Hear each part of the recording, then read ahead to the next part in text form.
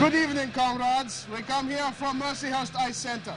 I'm John Baranowski with, as always, is David Stearns. We're looking goofy as always. Yeah, I wore the shank to work today. Stearns wears a beret. I'm like, we have to do something with it. Does that mean that's supposed to be French? I don't know. Oh boy. Sacre bleu. Napoleon will come after you.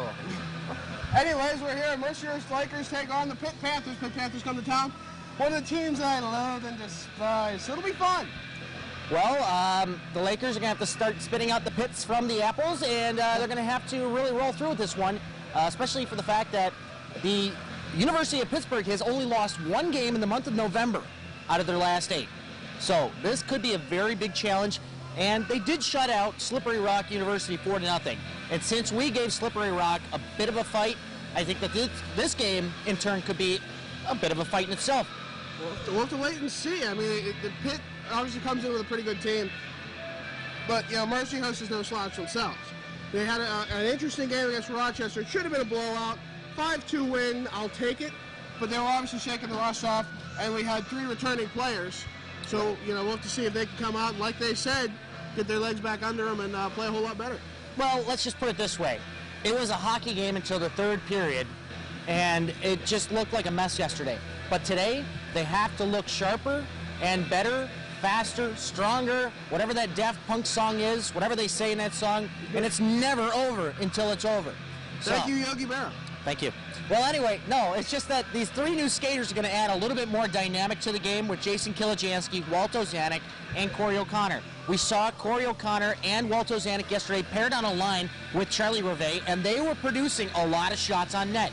The only thing is they couldn't get it to the back of the net. But Mark Ingram did play an impressive game He against was, the he Lakers was yesterday. phenomenal last night. He saw 50 shots total by the end of that game, and we only put on 12. Or no, I'm sorry, that's the other way around. Yes, Mark Ingram did see 50. We only saw 12. Right. So Carson Loveday was not tested as much yesterday, and he is getting the nod tonight. So we'll have to wait and see uh, how he can pull it off. Uh, he's going to have to play on, his A game today, plain and simple. Now, now, as for the little key of the game, to quote the great Ivan Drago, we must break them. So, uh, you know, come out here, bang some bodies, play some physical hockey, and set the tone early. And that's what I liked from that third line with Reve, Ozanek, and O'Connor. They were the most physical line out there, but yet they produced the most shots as well. Rarely do you ever see a really hard-working third line, a checking line at least. The last time I seen that was the Anaheim Ducks that just won the Stanley Cup. But I'm not saying anything about the Lakers in that respect, of course. Right, you need three full lines. But it just seemed like yesterday that was the line. And the hard work from Steve Stepanian, the hard work from Gannon Carr on the point, those are the reasons why goals came through one side of a blue moon within that game by those 50 shots. Right. Well, I, I, I made the allusion to uh, that maybe they, they were like the Hanson brothers coming in, those three new guys. You know, I'd, I'd love to see that happen. I said, you know, I hate to call you that. I want to call you that, you know? So uh, go out there and hit some guys. Well, of course, with the exception of Charlie Reve not being in that interview, I guess Charlie Well, I mean, could be guys. on that line as the Hanson brothers, you know, getting the three out there. But, but just Corey O'Connor and Walt Ozanek, very physical players, very offensive-minded players. Great work ethic yesterday, and that's a good sign Uh-huh. of what we have to see for the remaining games of this season. All right, well, I guess that's uh, going to wrap it up for us. We will join you for the first face-off right after this. Well, welcome, sports fans, to Mercyhurst College. I'm John Baranowski. With me, as always, is David Stearns. Here is University of Pittsburgh comes to town, and that'll probably be one of the last times you hear me say University of Pittsburgh. They're Pitt in my book. I could think of something to say, but I don't think we could say it on TV. I do love the FCC. What a choice in music to start things out here. Should be interesting to see these two teams come together for the first time this season. As we have Carson Loveday starting in net for the Lakers. He has a 3.96 goals against average after last night's game. And Mercyhurst to win the opening face-off. Eventually comes back to Chaz Hoffman. Hoffman tries to put it in the Mercyhurst zone. He will do so, but it's intercepted by Mercyhurst right quick. Coming out of it, Ozanek. Ozanek hands it off to Reve. Ozanek pulls it over the line. They're going to wave that as those onside. So a quick shot will be stopped and held on to by Levy. For the first time in a long time, I'm jittery about a game. I don't know if that's a good thing or a bad thing. You're I got a- jittery today. I, I got a feeling about this game. I just don't know which way that feeling's going to go. I'm actually feeling kind of good today, considering I actually woke up in enough time to actually wake up. So, considering these early games at 1 o'clock, well, it's a new thing for me, but it is kind of dark outside. Ah, you gotta love Erie. In the corner, Mercyhurst with it. Oh, and put down hard. Kenny Hunt took a big hit from Jeremy Wano. Quick shot by Mercyhurst, held on to by Levy once again. Well, of course, we talk about Carson Loveday on our end. We should talk about the other end. We have Ben Levy starting in net for the University of Pittsburgh Panthers. He holds a 2.79 goals against average, only allowing 11 goals and playing 236 minutes. So not too shabby. He is not their starting goaltender, who is usually Ed Nusser. Mercyhurst with a quick shot from the point after winning that face-off. Coming back with it is Craig Lehockey. Yes, his name is Lehockey. Just over 19 minutes remaining in the first period of play. We've uh, rather early in. Ben Odell tries to get it up to Matt Warren. His pass will be intercepted by Jeff Boyd. Boyd sends it right in front. On the doorstep was Kwachuk. He couldn't put it in. Now Mercyhurst trying to get it out of their own zone. Kwachuk puts it back in. Loveday was about to play that. Odell swoops in front of the crease and takes it from out from under him. Now taken by Warren in his own blue line. He passed it over. He tries to get it to Kenny Hunt. It instead will go over to Kilijansky, and Kilijansky will clear it into the zone where it's held on to by Levy. Well, you mentioned Le Hockey. It's kind of interesting. I just thought about this that uh, two captains, both from Canada. One from uh, Ottawa, Ontario, and of course the other one from Gatineau, Quebec. So, Le Hockey, oui. L E H O C K Y. How- how- you know, the- guy's meant to be a hockey You're player. only missing the E. He can't win them all. Probably took it out so he, he wouldn't actually be the French word for hockey. With it now, Stefanski trying to get there. He will lay down the boom on uh, two Pitt players. Trying to get out of the zone now is Stefanski. Oh, and a big hit. Cole Lukasinski puts down David Gaines. Ouch. I felt that one from up here. Gravison around. Gaines will get an opportunity here. He spends up to Stefanski in front. Quick shot. Oh, and he couldn't get it. He ended up uh, sweeping his leg up into the goaltender's pads. Both of them got tripped up. Well, what I didn't understand there is Levy came out to challenge Stefanski. He came out of his crease. Why was that not interference? Interesting. Well, they, they don't like to call interference on goaltenders. It becomes quite obvious. It's kind of like diving. It's just you, not called. Are you excluding them from the game altogether then? Yes. Yes, oh, I man. am. Goaltenders are above the law. I guess so. They're, they're like vigilantes out there. Loveday will play it around the boards, picked up by Reve. Reve sweeps behind the net. Passes it back to Martin. Now out to O'Connor. Corey O'Connor sends it around to Ozanek. Cross the line, slap shot. Over the line! Goaltender got just a bit of it with a stick and it wasn't enough. Trickled right into that net. I had to throw out the French there. Enemy. There you go. Walt Ozanek taking that shot, looking good all day yesterday with those shots coming on like flurries after one after another. Walt Ozanek finally puts it by. That one just bobbled over the stick of Levy. Wow, my goodness. What a great his second start. game back, and already they, these guys are playing better. What they said it last night. Yeah. They have they have come back and, and they haven't lost a beat. Now that they have one game under their belts, we already seen Ozanek, the Oz man, puts it right in the net. One nothing, Mercyhurst Lakers. With it now is Whitney Gibbs. He sends it into the zone. Icing waved off as it's taken by Tim Davin. Davin passes it off to Adams, and it's sent up ice. Going back for it is Chris Martin. He's uh, pressured by two Pitt players. Eventually coming out of it will be Justin Thomas. He puts it in front of the net. Can't seem to pull the trigger. Sent in front behind the net. Penalty about to be called. Looks like it's going to be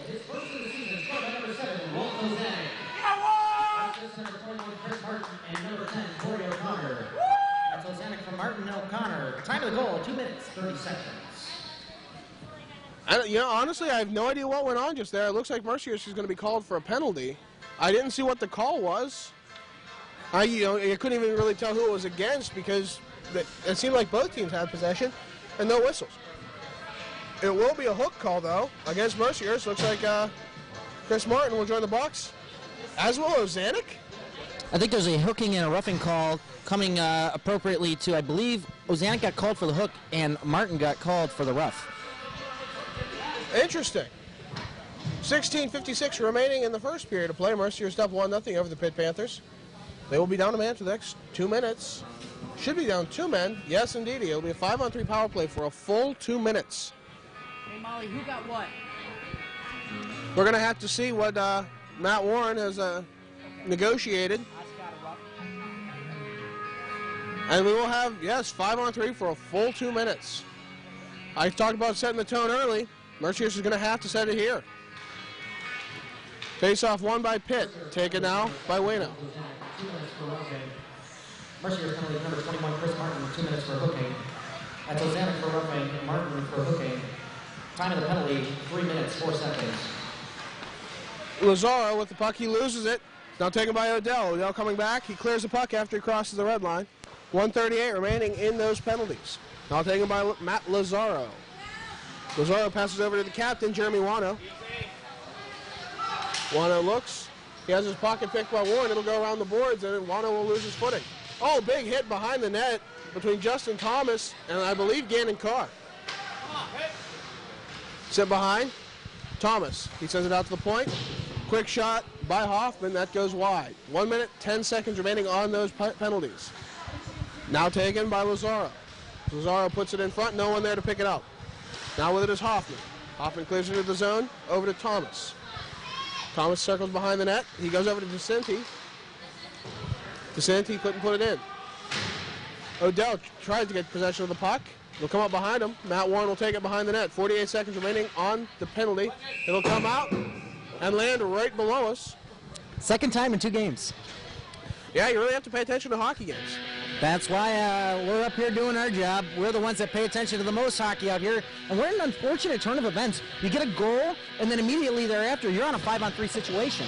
That can't be good. I mean, the momentum was just kind of shot down with those two penalties. Yes, but if Mercyhurst can kill these penalties, that could also be a huge momentum booster. So we're going to have to wait and see how it will affect the Mercyhurst Lakers. And I'll take it by Steven Adams. Adams passes it across to Tim Davin. Back to Davin. Adams. Quick shot. Right into the breadbasket and held on to by Carson Loveday.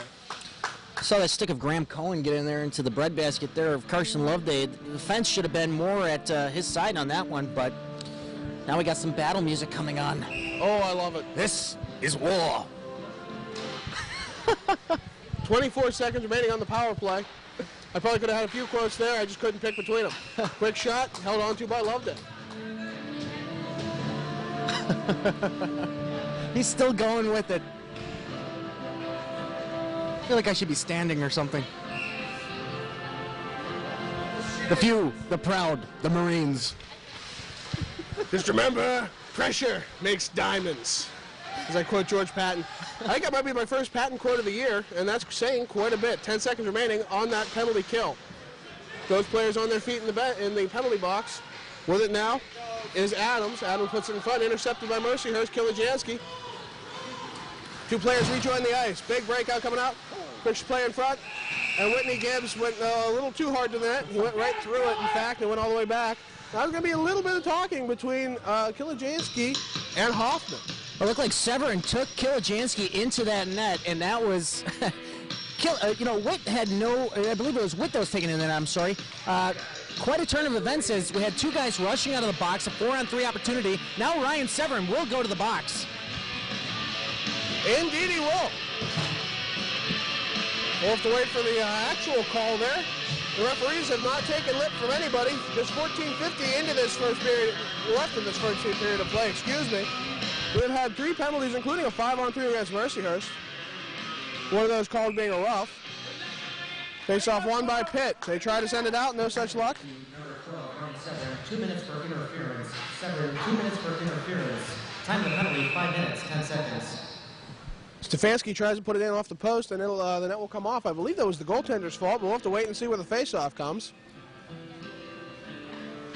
Indeed, it'll stay inside the zone. Face-off won by Mercyhurst cleanly. Chris Martin with it at the point. He sends it back to Kenny Hunt. Hunt sends it to Martin. Martin looking. He goes to Matt Warren. Warren at the face-off dot. He loses the puck. He tried to go around. David Gaines picking it back up and cleared out by Pitt. 135 remaining in the power play for the Mercyhurst Lakers, their first of the night. Martin will send it back to Warren, who will dance behind the cage and come out and look. He will go to Kenny Hunt. Hunt to Martin. Martin crosses the red line, the blue line. He looks, trying to find the open man. He's pressured hard by Kwachuk. He sends it behind the boards. With it now, David Gaines. David Gaines looks. He loses uh, his footing there at the efforts of Jeff Boyd. And it'll come all the way back to the Mercyhurst blue line. Gaines with it still. He gives it to Matt Warren. Warren looks. He wasn't sure where he wanted to go with that one. He'll eventually find Martin. Martin crosses the blue line, puts it into the zone. 55 seconds remaining on the power play. Warren picks up at the point. Sends it back into the corner. Kenny Hunt. Kenny Hunt with a quick shot. I'll go off the pad. A big juicy rebound, which will come all the way out of the zone. Now Warren tried to stop that one. No such luck. Certainly a lot of opportunities here on his power play, but I mean, just the fumbling of the puck at the blue line on both times that Pitt has cleared, those have to be eliminated to keep this power play consistently going. Kilijansky circles around the net like bees around a hive. They send it over to Whitney Gibbs. Gibbs goes to Warren. Back to Gibbs. Warren. They're playing catch. Warren will take the quick shot he fanned on it. and It'll go right to a Mercyhurst play. It looks like there's going to be another penalty call. Looks like we're going to have an interference call or a hooking call. Up, cross check instead. All right, so I tried to go through all the penalty calls, but it's going to be against Pitt from what I believe I saw in front of the net in that crease. Yes, Wano will go in. The captain will serve his two minutes. Mercyhurst will have a five on three for 19 seconds. Mercyhurst looking to capitalize on this. We'll wait for the face-off in the Pitt zone. It'll be taken by Ozanek. Ozanek will lose that face-off, but Mercyhurst will eventually get it back. Warren with it at the point. Wiener, two minutes for cross-checking. Time of penalties, six minutes, 51 seconds. Gibbs with a quick shot. Levy went way outside the crease on that save. Ozanek tries to send it in. First penalty will expire. Charlie Rivet chasing the puck. He tries to get to Warren. No, instead it'll go to Kilijansky in the corner. Now Killer will put it over to Matt Warren. Warren sends it right in. Tipped by, I'm not sure if that was Ozanek or Charlie Rivet. Either way, Kilijansky will come out with it. Pushes right in front. And there's going to be a quick whistle as Killer and Matt Lazaro go down. Ah, we have an increased call here as the face-off will come outside. Five on three opportunity on both sides. Neither team could capitalize on the five on threes, but now the Lakers have a minute and 22 left on Wano's penalty. So hopefully they can break it back into the zone and get more of the systematic passing going. It looked like they had a lot of continuity down low, especially on the right-hand side, the glove side of Levy, but they just got to pour the shots on. They're doing great with the traffic in front as well. Yes, indeed. Mercier seems to be playing exactly where they want to be playing. They're not taking guff from nobody. Stefanski with it in the corner. He sends it to uh, David Gaines. David Gaines gives it to Kenny Hunt. Hunt goes to Warren at the point. Quarterback in the play. The quick shot. Good pass save. Diving for it. I'm not sure who that was, but it went on that. Now held on to by Ben Levy. That was sitting right on the line, and that could have been debatable on whether or not that was kicked in. I mean, we saw it squirt after the whistle, after everyone collided, everyone collided into the net. I saw that sitting right behind the skate of Levy. All it needed was just a little poke, and that would have been a goal. Linesman lines up the net, and then he realizes that there's no moorings underneath it. That could help keep it on. We'll wait for the face-off in the Pitt zone. Looks like the uh, the levees are going to break soon. we'll wait. We'll see if uh, we can get the water pouring out and drown Pitt with it. With it now, Stefanski. Stefanski looks face-off. He will lose that face-off. Pitt will look. They will get it, and they will get it out. Justin Thomas on the clear. 56 seconds remaining on that power play for the Mercyhurst Lakers. Warren plays it back to Gibbs. Gibbs from behind his own net. He waits and looks, looks and waits, waits and looks. Eventually he will go over to Matt Warren. Warren tried to push it out, and again, Thomas will be right there to thwart him. Justin Thomas so far being the uh, most stellar player on the Pitt team. Quick clear, 31 seconds remaining. Carson Loveday uh, uh, looked like he almost flubbed that one. I guess he had it in his glove. 26 seconds remaining on that power play. 11:33 remaining in the first. Whitney Gibbs passes off to Kenny Hunt. Kenny Hunt charging coast to coast. He looks, shoots, pad save, big juicy rebound into the corner.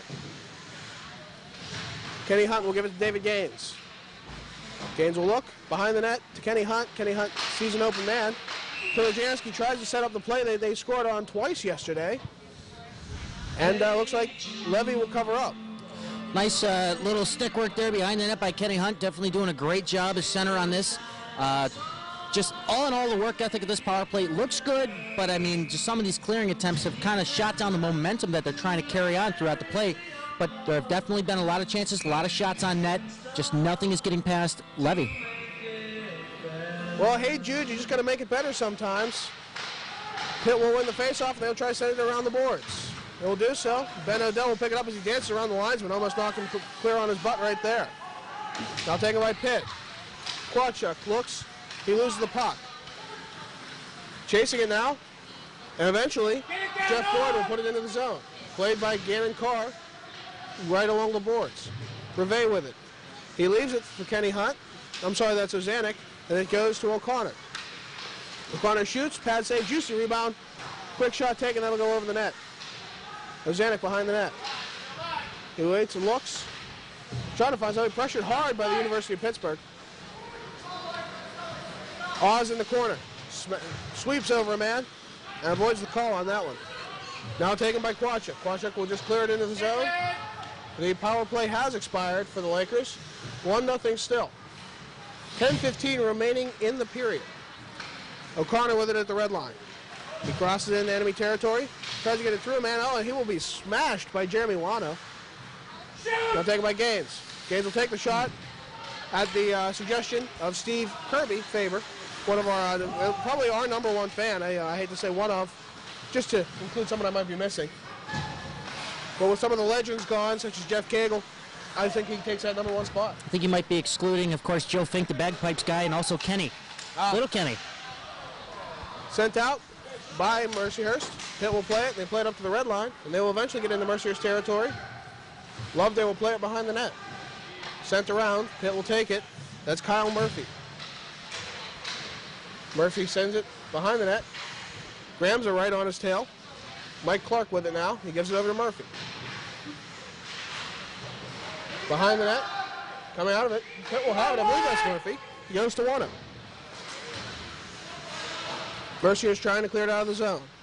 Stefanski will do so. Chasing it is Cole Lukasinski. Well, Murphy's Law will not apply as he gets off the ice. Some strong work ethic by this Pitt offense down low in the Mercier zone, but they just can't get any shots on net.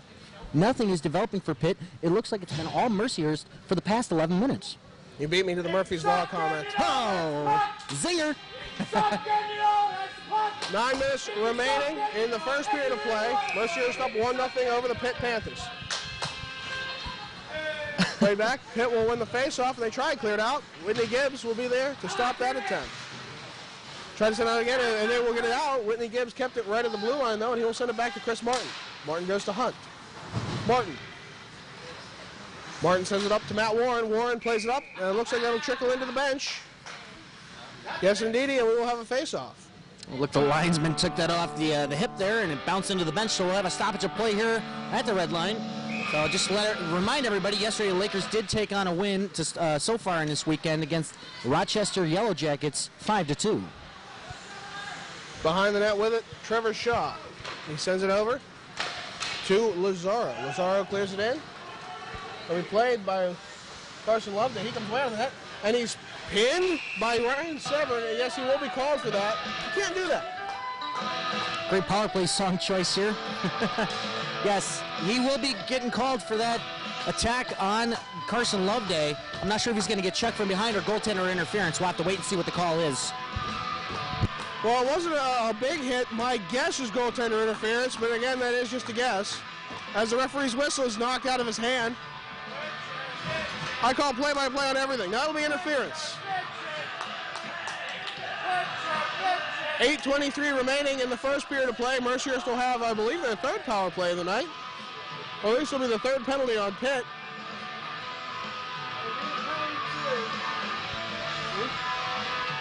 Oh, looks like we have a penalty too. Thank you to the cameraman. Who's in the box and why?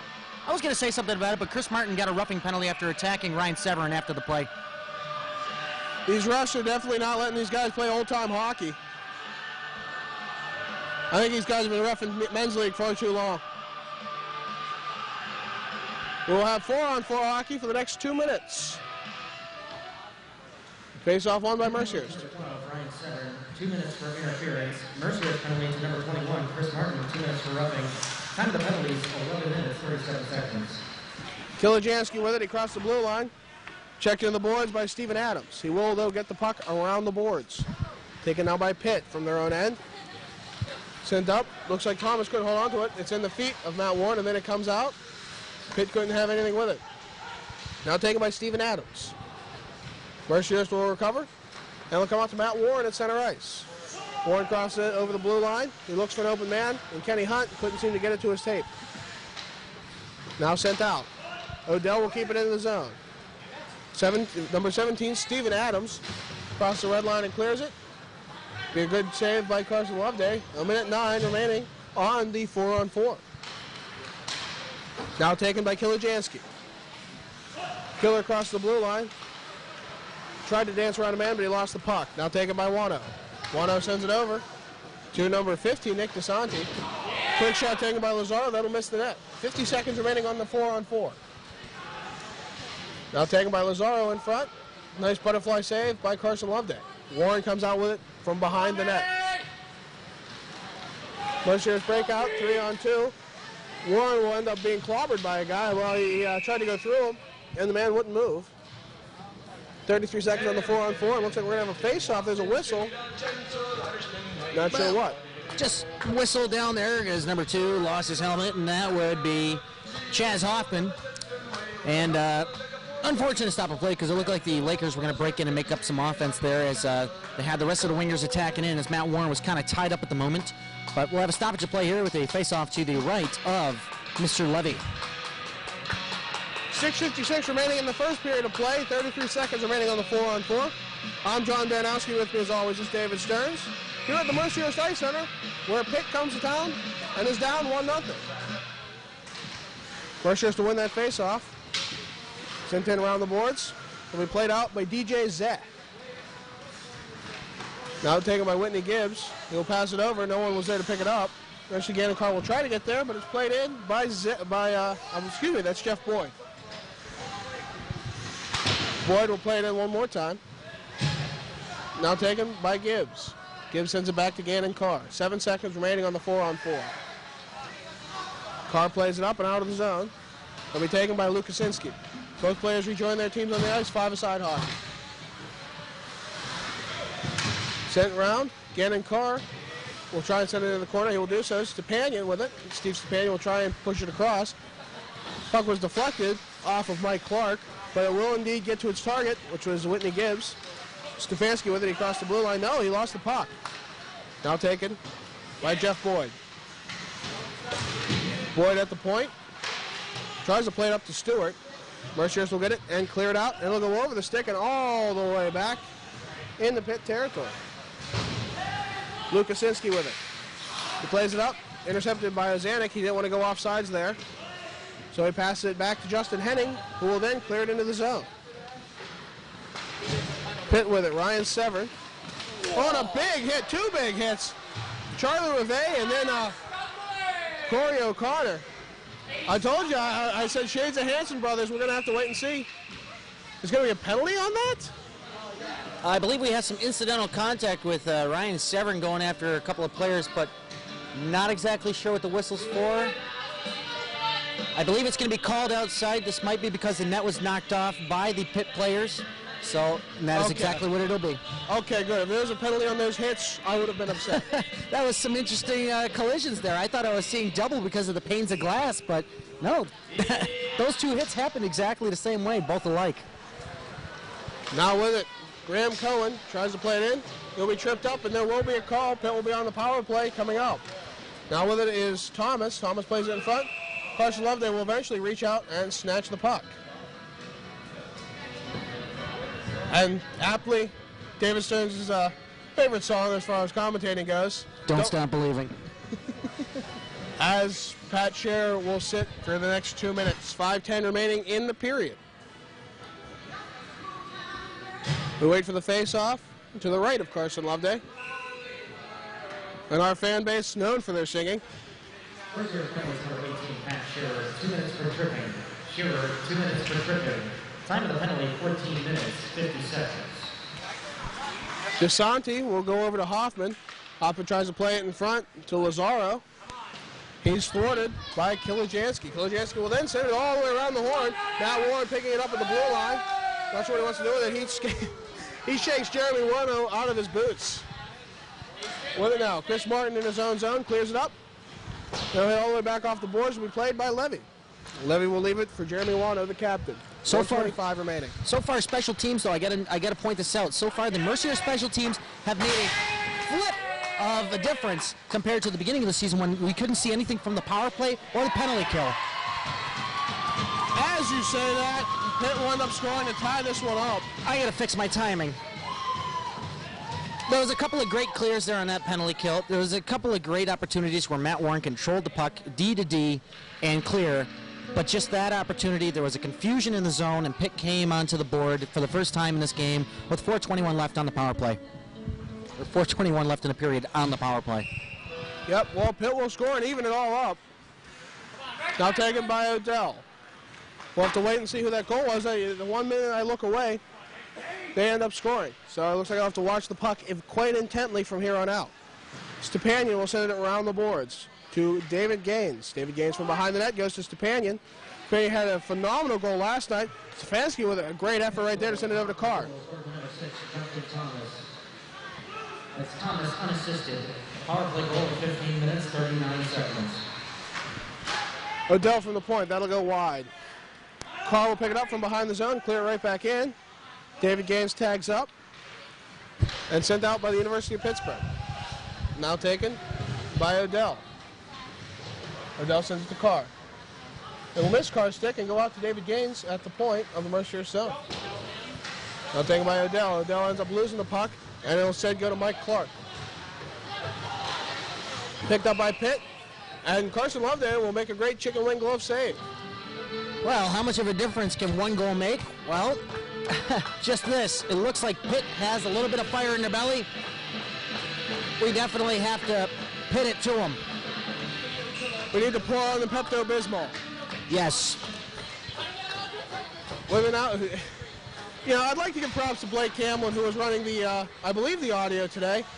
We are a very Irish school, and he's playing right to that, and our fan base loves it. That's for Irish sure. Catholic, that's for sure. We have someone from Boston standing right next to him. Now taking my Pitt, they cross the, the blue line, and they'll be off sides. And we are returned to the jig. I have an interesting story about Flogging Molly. The lead guitarist, Dennis Casey, bought my hat, bought me a shirt. Well, he actually gave me a shirt and a CD just for my hat. Gave me 20 bucks, a t-shirt, and a CD. Wow. What was Good your hat? It was uh, kind of like a beret style, kind of like what do they call it? What they call quote unquote go to hell hats, you know? Oh, Ah, yes. all right. Oh, Walt Ozanek does not look good. He looks like he's having some knee trouble here after that knee on knee contact. Yes, Quachuk ran into him. Uh, I think Quachuk looks fine. He's behind the net right now.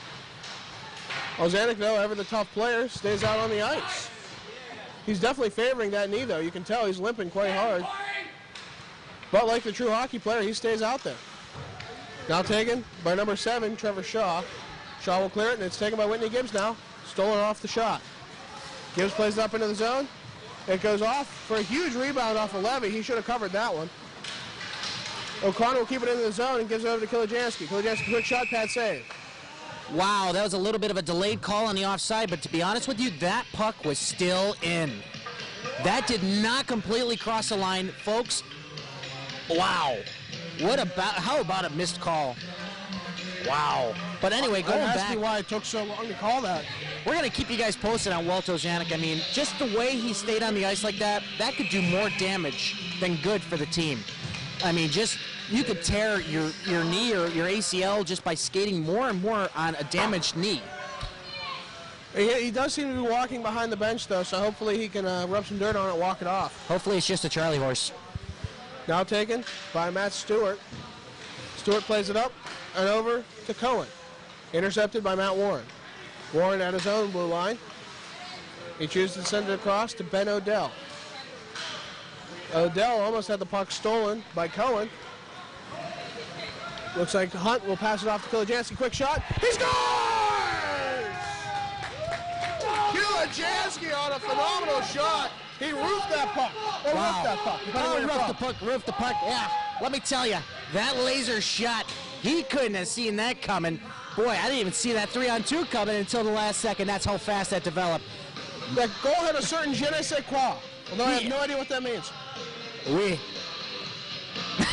Coming from the man with the beret. No parlez-vous français. But anyway, uh, Kenny Hunt doing a great job of setting that play up after taking the rush out of the zone. I believe Odell will get the credit for an assist on that. Great development.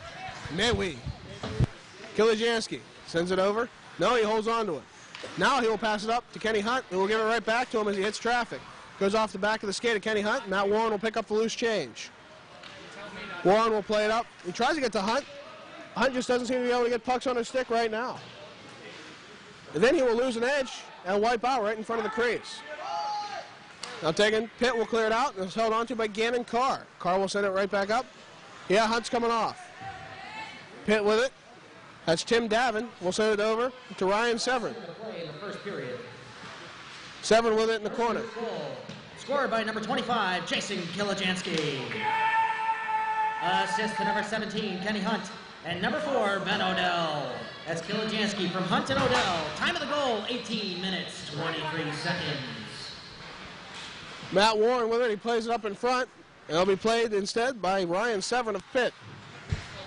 Now taken by Severn again. He sends it in the corner to, I want to say this, DeSanti. DeSanti plays it over. And back to DeSanti. Goes around the board over to Lazaro. Lazaro back to DeSanti. Lazaro. Tries to get to DeSanti. No. Kilijansky will get in the way and he will clear it out. 14 seconds remaining in the period. That will be an icing call. On uh, icing at 11.1 seconds left here in the first period. Mercyhurst just getting a lead back yet again, being up two to one at this point going into the intermission.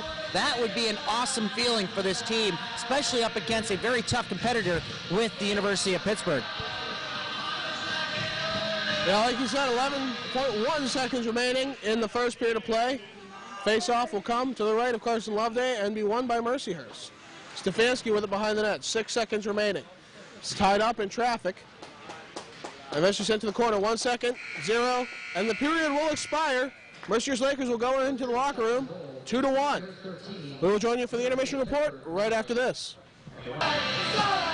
John Baranowski here with the Warrior, David Stearns. Yes, this is the epitome of war. I think you can find all these kind of parallels between war and hockey. I'm going to save those for later. Somehow Scooby-Doo doesn't say war to me. Ruh-roh. Well, after the first period of play, Mercyhurst is up 2 to 1. I'm hoping my, my pregame jitters are a positive thing, saying we're going to beat this team that I so hate. Are you kidding me? I felt this good all the way through the dang game. Seriously, Pitt is going down.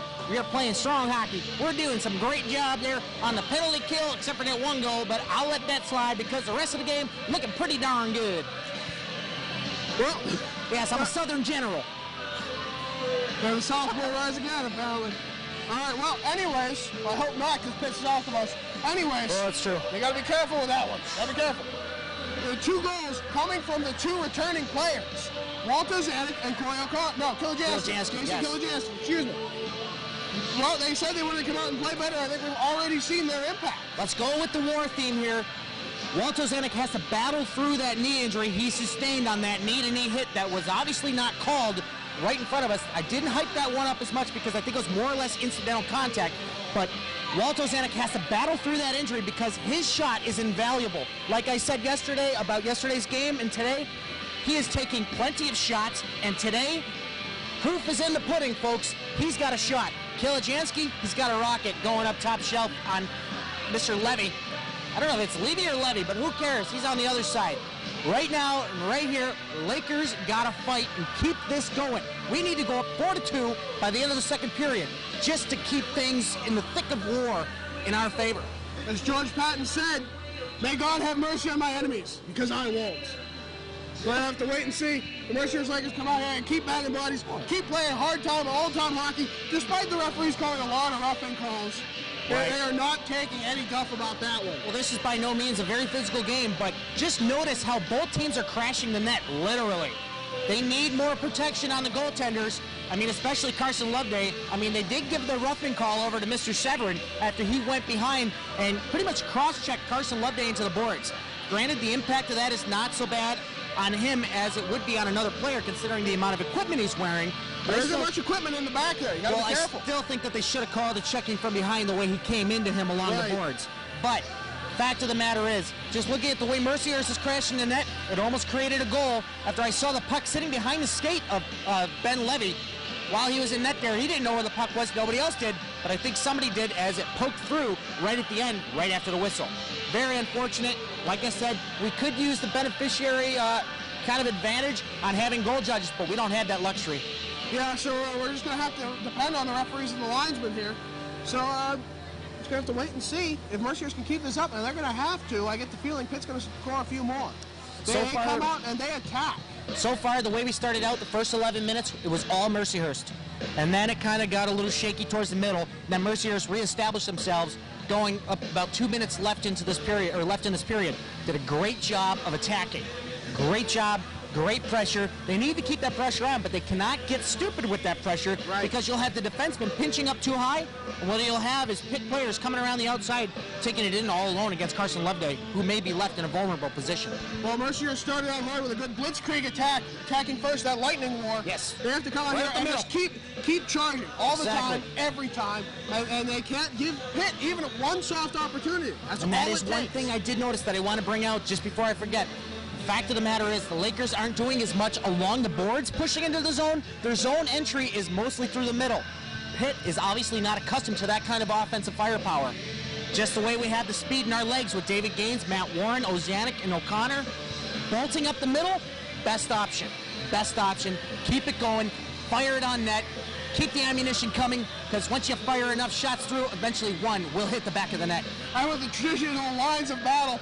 As we charge up the middle, we gotta make sure that, like the Battle of the Bulge, that they don't come sweep behind and cut us off. That's true. Which is what what you said, not letting the defenseman pinch in too hard and giving him a soft opportunity on Loveday. You can get a two on oh zero or a breakaway quite easily with that attack. The offense is doing the job. The defense is doing just as well of a job as well in the back. It's just they cannot get caught in bad situations by going in too deep. It's not over yet, folks. We got two periods of play, and we will resume that right after this.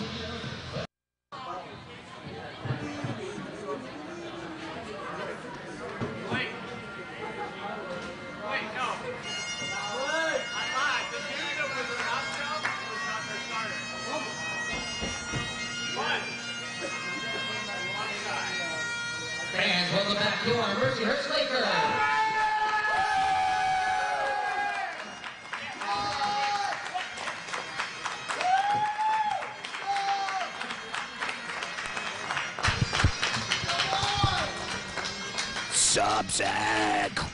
Sobczak!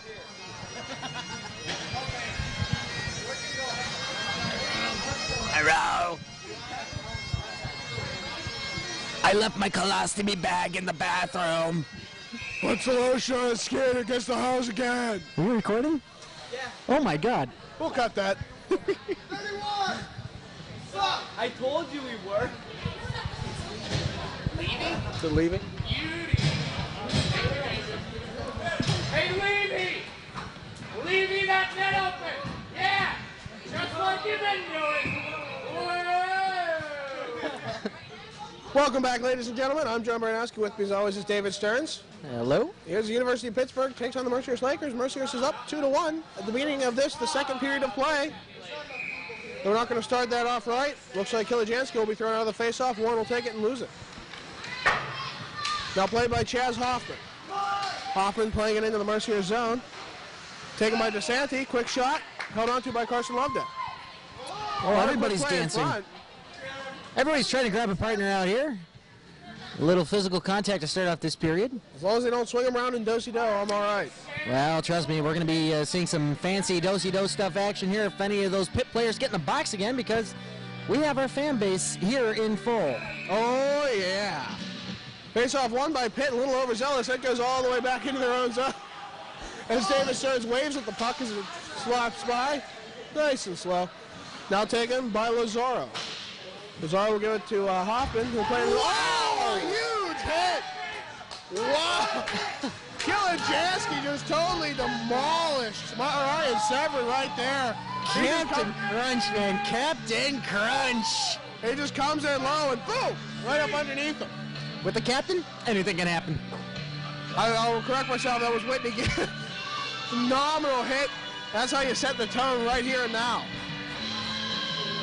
Now taken. Stefanski He will lose that face-off. I'm sorry, I thought he, Stefanski had it behind uh Cleared into the zone. Gannon Carr trying to get to it. He will send it behind the net to Stefanski. Stefanski will play it up. A dangerous pass. David Gaines trying to get there. He won't be able to, though. It's now taken by Justin Thomas. Gaines will get the puck back, and he tries to dance around the boards. And he is tackled. No call. Coming right in front. With it now Gibbs.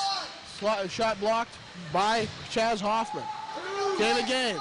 He retreats. Get it over to Ben Odell. Odell goes over to Gibbs.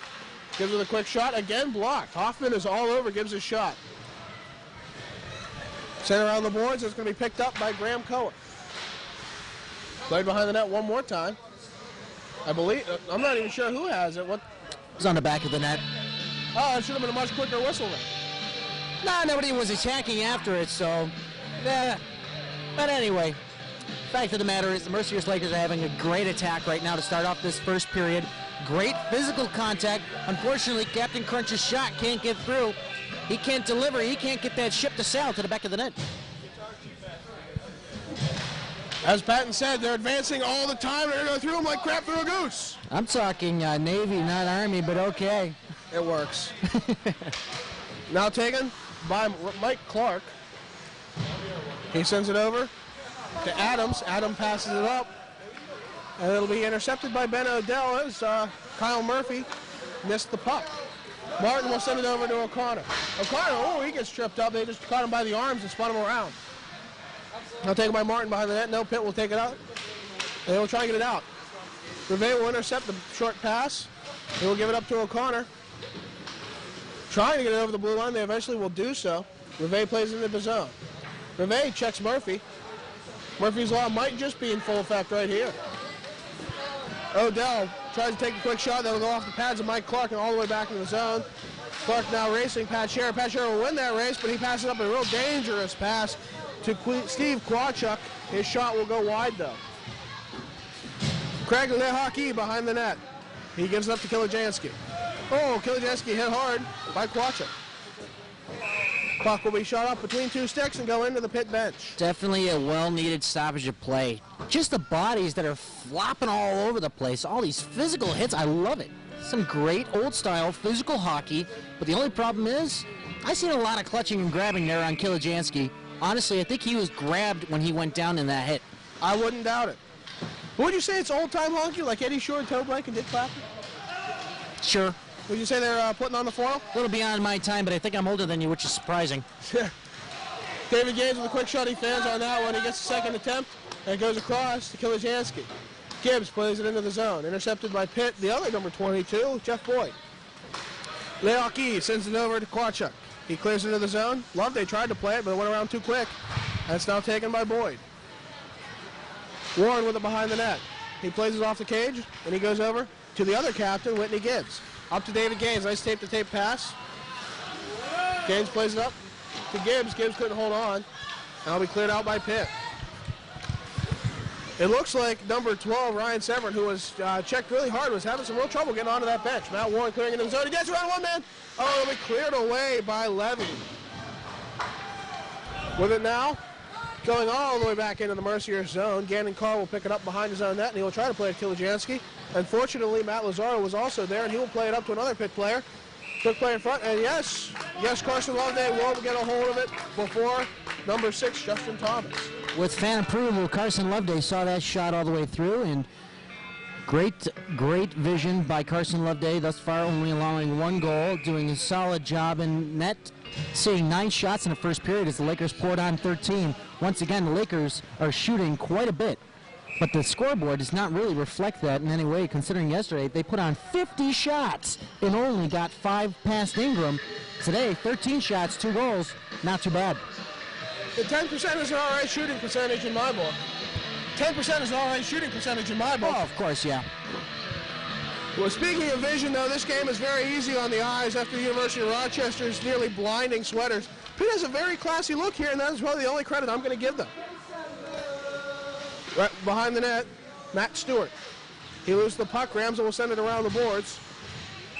Stefanski will play it, and there will be a call, probably boarding. Though I'm not sure. I didn't see it yet. Nope, interference. Looks like it'll be on Kenny Hunt. Kenny Hunt just not having a very good game so far. He had a couple of uh, problems getting the puck on his stick, keeping it there, and then he didn't wipe out in front of the net last period. We'll have to see if uh, maybe he can take this two minutes to uh, reset his clocks. 16.08 remaining in the second period of play. Mercyhurst will be down a man for the next two minutes. Face off one cleanly by Pitt. Two minutes for interference. Two minutes for interference. Time of the penalty, three minutes, 52 seconds. Quick lob shot. Carson Loveday holds on. 156, just four seconds ticked off the clock. I'm John Baranowski. With me, as always, is David Stearns. Here, men's club hockey, where the University of Pittsburgh comes to town, play the Mercyhurst Lakers. They are down two to one. Mercyhurst on the penalty kill. Steve Stepanian plays it out, picked up by Steven Adams. He sends it across to Severin. Adams. Severin. He crosses the blue line. He looks, takes a shot, toe saved by Carson Loveday. Picked up in the corner by Graham Cohen. Cohen sends it around the boards. Stepanian will play the puck out, will go all the way back to the red line. Chasing it is Tim Davin. Davin will pick it up at his own blue line. Plays it over to Severin. No, instead it'll go to Mike Clark. And it's played out one more time by Ben Odell.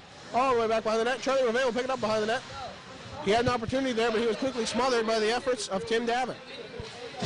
Reve then checked hard from behind by Graham Cohen. No call.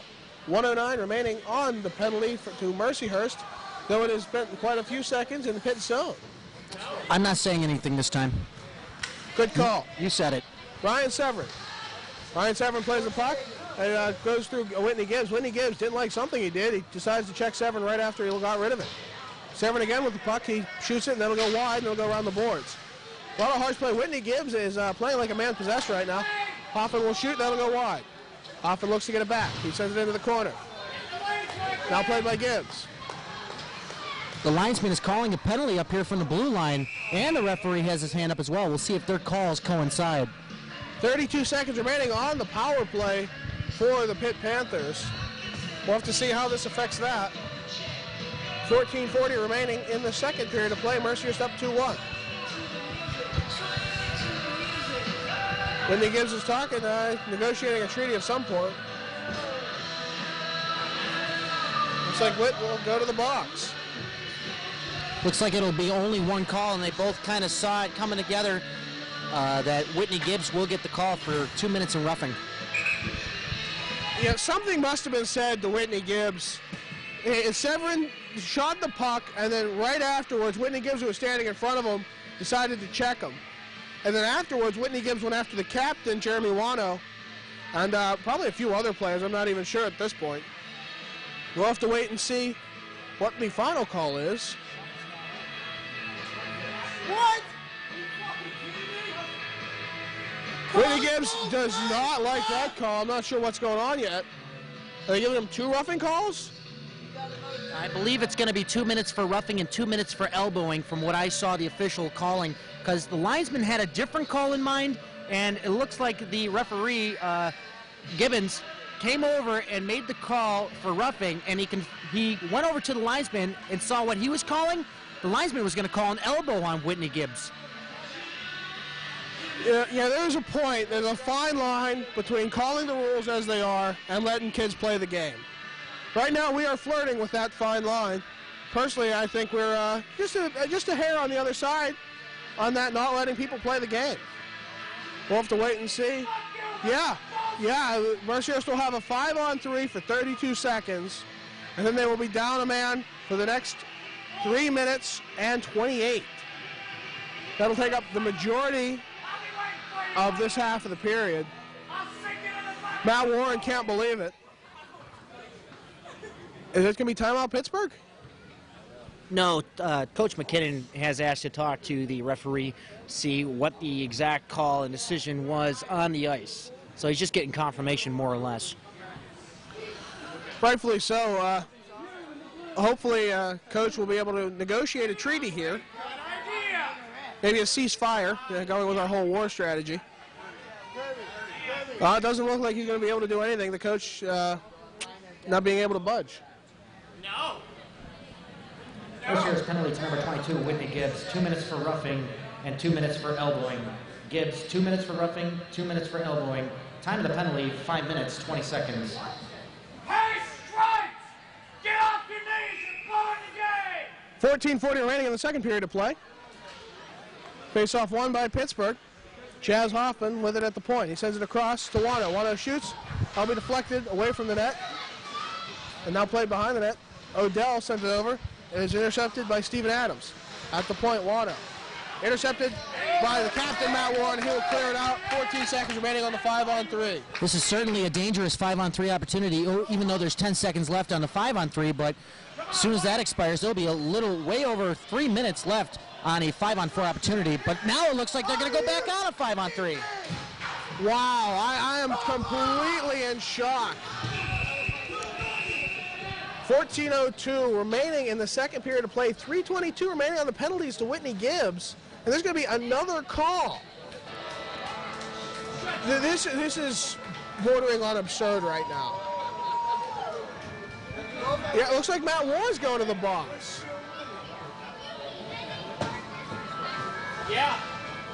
Warren just shakes his head and laughs. This, yeah. this is absurd. Absolutely absurd. Yeah, I don't want to comment on bad officiating, but I think we're hitting that point. A two minute slash? Outrageous, refs. I believe it's too many men to Pitt, and it's slashing on Matt Warren. Okay, well, that at least tries to even it up, but it doesn't make it right. Wow, I, I am absolutely awestruck by these calls. As we wait for uh, the referee to explain to Pitt what went on. I'm John Baranowski. With me is David Stearns. We're going to wait and see uh, what we're getting out of this. I, I apologize for the silence. Dumbstruck. I, I'm just a little confused right now what exactly is being called, but I believe it will be the slashing to Warren and then the too many men for Pitt. But I'm trying to figure out whether or not that too many men was a result of them pulling the goaltender for um, the extra attacker in the delayed call to Matt Warren. I'm not sure which one came first. I was a little distracted by the chaos that was ensuing along the boards. Indeed, it was chaos. We're going to have to get Maxwell Smart out here to put control back in order. I'm guessing it's going to be four on four. The two penalties will not go up on the boards. That is what it appears to be. Nobody's rushing to punch in any numbers. Kyle Murphy will sit in the box for the Pitt Panthers. Nice close look at those beautiful sweaters. Uh, Kilijansky will take the face off as both captains, Whitney Gibbs and Matt Warren, are in the box. Warren, two minutes for slashing. University of Pittsburgh penalty, too many men on the ice. That's Warren for slashing. Pittsburgh, too many men on the ice. Time of the penalties, five minutes, 58 seconds. Kilijansky will clear it out to be played by Levy. All the way out at the uh, face-off circles. Now taken by Steven Adams. He passes it up to Davin. Davin puts it into the zone where Gannon and Carr plays it up. Effort there, he ended up uh, diving for to get that away. Now taken by Cohen. Played by Mercyhurst behind the net. He goes to the point. That's a well sneak out of the zone. Well, that definitely helped out the Lakers quite a bit here on this penalty kill. Now they'll clear it down the ice and almost made it to Kilijansky. But anyway, besides point, doing a great job so far, but hopefully they can hold on as there was a lot of confusion with these penalties just a few seconds ago. All the way back in the Pitt zone. 2.25 remaining on the penalties to Whitney Gibbs. 13.02 sets the clock. Now taking Stefanski. Stefanski in the Pitt zone. He looks in the corner, swings around, tries to find an opening. He can't do so. He's being pinned pretty darn good. Pitt will indeed come out with the puck. With it now, Mike Clark sends it across to number 15, Nick DeSanti. Cleared into the zone. Two minutes to the penalty on Whitney Gibbs. 12.38 remaining in the period. Getting out of the zone is Chris Martin on a fantastic effort. He played it off the stick, off the glove, and off of a few other pieces of equipment. Now played up and cleared out by Chris Martin. Great work ethic by Chris Martin. He was just all over the attackers on the Pitt side there, along the boards on that blue line. He kept them from getting anything set up in the zone, cleared it down the ice just fine. To quote Winston Churchill, never, never, never give up. Three 12 times? Three times never give up? Three times. Three times. That's why he's fighting them on the beaches and in the trenches and everywhere else. 12.04 remaining in the period, 123 remaining in the penalty to Whitney Gibbs. Played behind the net. Oh, a big hit that wouldn't go down. Pitt. Uh, I'm trying to see who that was. I believe that was Thomas who was hit by David Gaines. David Gaines finally doling out some punishment. He sure takes enough. We have a quick whistle. We have ourselves a penalty coming up to Pitt. Interference call coming up here. I believe it's going to number six, who is Justin Thomas. Thomas is just as confused as the Mercyhurst players have been. Well, at least right now he's keeping it even. We'll have four on four hockey for the next minute and 12 seconds. Afterwards, Mercyhurst will be on the power play for a short time. 11.52 remaining in the period. I'm John Baranowski, the one with all the wacky comments. And with me, as always, is David Stearns, who uh, so far has been the voice of reason, su- surprisingly enough. 2 1 Mercyhurst. Pittsburgh comes to town to play in the Mercyhurst Ice Center. Number six, Justin Thomas, two minutes for interference. Thomas, two minutes for interference. Time of the penalty, eight minutes, eight seconds. David Gaines plays that one off his arm. Pitt will end up getting it back and clearing it into the zone. Now taken by Ben Odell. Odell sends it to Gaines. Gaines back to Odell. Odell plays it up, clears it out. He tried to get it to Kenny Hunt. Kenny Hunt with a little bit of cherry pick effort. Mercer's trying to see if one of these clears can pay off, and then it's into the zone. A little bit of play in the corner. I think Odell was on top of the puck, and that's what the whistle's for. Called on the offsides. Nice try. Just messing with you. Almost. It was close. It was a good guess. As I'm watching behind the play, you're watching the play. Of course, that's my I, job. am just watching the puck. I gotta see who, uh, you know, they ought to put numbers on the sticks. It'd be a little more handy for me. That's what I just zone in. Don't stare at it too hard. You might have nightmares about it. You're not being attacked by killer hockey pucks. Wouldn't be the first time. Face off won by Mercyhurst, played into the zone. Trying to get there is Ryan Severin. He indeed will get there. He plays it in front. Good save by Carson Loveday as it's in the corner now. Cohen with it. Fighting with the other number four, Ben Odell. Cohen comes out with it. He totally fans on that wrap around the boards. Now he takes a quick shot. Gloved by Carson Loveday. He didn't really even have to flash leather on that one. His positioning was really good on that attempt. The guy in the white mask doing a phenomenal job so far in this game, seeing every shot all the way through. And the Lakers are doing a great job clearing out the front of the net so that Carson Loveday can see every shot that comes through. Doing a great job right now on this defense, especially with Ben Odell. Good guys wear white hats, and right now Carson Loveday is playing very well. Stepanian with it. He crossed the red line, or at least he tries to, and then he gets it to O'Connor. Played into the Pitt zone, now taken by Chaz Hoffman. 14 seconds remaining on the four on four. Now taken by Odell. The coach of Pitt is complaining about something. He is very vocal about a hit that happened in front of the bench. I couldn't tell what was going on. Look at him. He is going nuts. He's going ballistic. Oh, I sure hope that's on camera. Hold on, it's coming again. Here it comes. Here it comes. Wait for it. Wait for wait it. For Wait it. for it. Uh, uh, uh, uh, wait. Uh. Ah, he soiled himself. Oh, he's, he's holding on, controlling himself. Drat. Foiled again. Well, somebody is hurt on the bench, and that is number five, their captain, and that would be Jeremy Wano. That way to Whitney Gibbs expires. That was a big kill for the Mercyhurst Lakers. They had a 5 on 2 attempt there. Now, quick shot by Matt Warren that'll go off a stick and into the netting. 43 seconds on the power play for the Mercyhurst Lakers. They're up 2 to 1. Wano is checking his face. I'm not sure if there was a high stick, the blade of the stick getting through to the mask. He is rubbing his right cheek, and we are not exactly sure what had happened in front of the bench. I just think it was just a mere collision among, amongst a bunch of bodies. Maybe he forgot to shave this morning. Probably he's just checking to see how scruffy he is. Warren at the point. He plays it into the corner. Kenny Hunt gives up to Kilijansky. Tries to go to Warren. That was just way too far. He let him just a little too much there. Warren wasn't moving. 30 seconds remaining on the power play. Warren picks it up in front of the crease. He plays it over to Whitney Gibbs, who returns to the ice after four minutes in the box. Gibbs chased hard and almost chased up, uh, tripped up, excuse me, by Kwachuk. Warren will take it uh, off of the tied up Whitney Gibbs. Oh, number 22, Jeff Boyd just completely loses his footing. Warren dances around the defenseman. Decides to come back. Now played by Whitney Gibbs. Plays it behind the net. Four seconds remaining on the power play. It's about to expire. Matt Warren almost had the one-timer right in front off the point. And now we'll have a breakaway. Justin Thomas comes out after it. Coming back real quick as Whitney Gibbs quick play in front. Oh, good save! Good save by Carson Loveday! Carson Loveday saw that shot coming as number six uh, came right out of the box there. Justin Thomas says his penalty expired, but now we're going to get a call to Mercyhurst. Wow. Sorry, guys. wow. Wow. I, I cannot believe it. I- He's I'm getting sorry. unsportsmanlike conduct? No, no, no. I am in disbelief. You know, I said this guy looks like Gary Bettman before the game, and he's ruining this game just like Gary Bettman ruined the NHL. And now Whitney Gibbs going into the box too. He argued that call, and uh, yeah, he's gonna serve caution. Undisciplined. Undisciplined. Wow. You want to drop Wow. They're throwing him out of the game. Whoa! Oh my goodness. Wow! And the Pitt fans are loving it. This is incredible.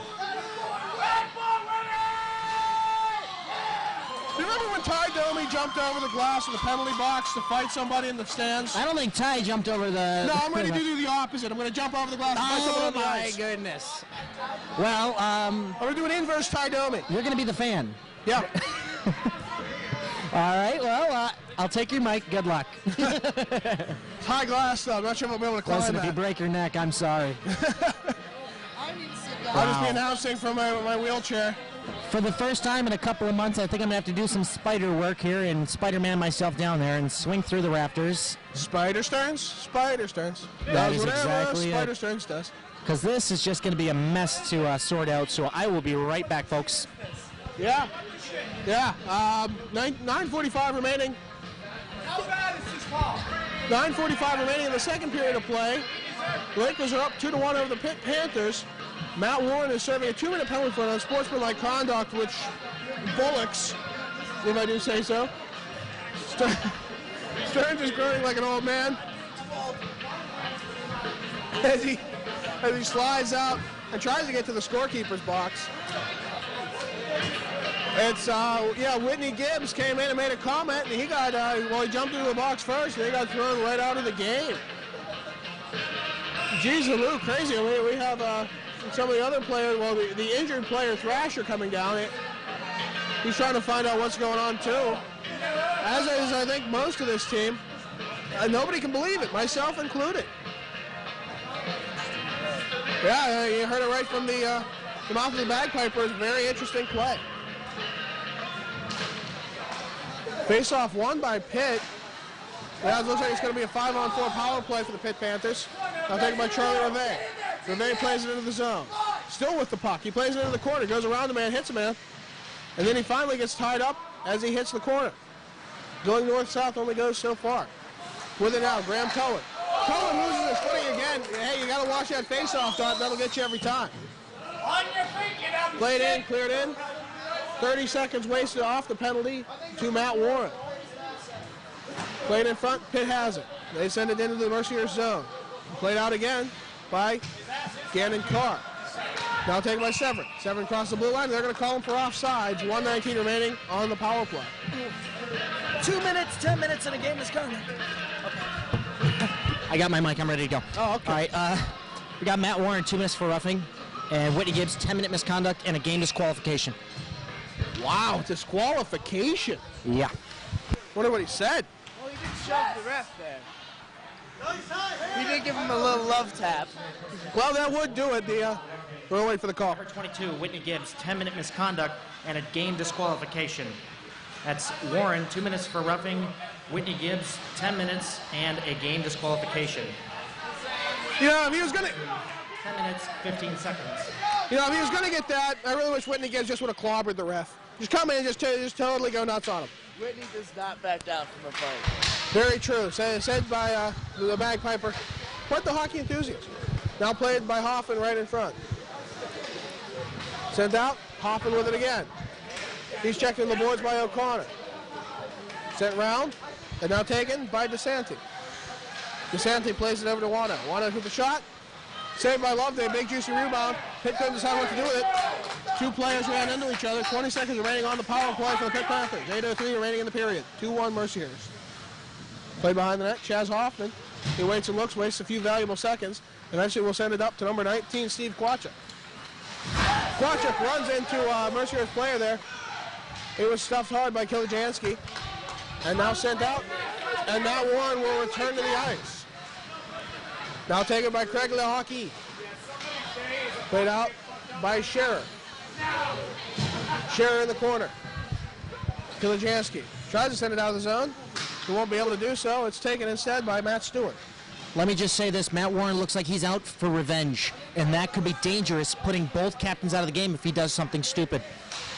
That could be extremely dangerous. Depending if Matt Warren wants to get revenge by goals, which would be nice, or revenge by hits, eh, I'd like it, but not so nice. This became a game of hitting instead of a game of hockey. Indeed, you go to a fight and a hockey game breaks out. Warren with the puck, he sends it up to Kenny Hunt. Kenny Hunt looks, quick shot, save, big juicy rebound. Try to pick up by Stefanski. Stefanski will take a quick shot. Kenny Hunt tried to put tip it in, no such luck. Sent around the boards, kept it by Scherer. Scherer plays it over to Hunt behind the net. And it's eventually covered up by Ben Levy. I'll tell you this right now that the presence of Whitney Gibbs will be missed because of his physical play, the way he handles guys along the boards. Nobody can rush the puck up from defense as smart as he can. But Chris Martin has done a phenomenal job so far, but he's not as physical as Whitney Gibbs. Whitney Gibbs will be a presence that will be missed for the next, well, the rest of the game and next game. Maybe Whitney Gibbs will serve as a martyr. A martyr for the cause to rally around. Now sit behind. Stefanski with it. He plays it off the high glass. Sent into the zone. It'll be picked up by Steven Adams. Now played by number 23, Thomas Bednar. Bednar circles the net. He looks for an open man. He finds it at the point with number 17, Steven Adams. Quick shot saved by Loveday. Another quick shot. Now go right in front of the crease. Was able to do it. Oh, Carson Loveday had a little tripped up by seven. David Gaines as the fans gets into it. Gaines with it. Plays it around the boards. He gets uh, he gets rubbed off the puck. Now taken by Tim Davin. Davin plays it up to Bednar. Bednar gets it to DeSanti. DeSanti will eventually shoot the puck. No, it'll go far wide. I believe that was just a clear. I hope it was just a clear, else that was really terrible. Now taken by Kilijansky. Kelly Jansen goes to one. One has it almost all alone. He waits for it, looks. He shoots, he scores! Matt Warren! Lefty goes around! Matt Levy! Wow!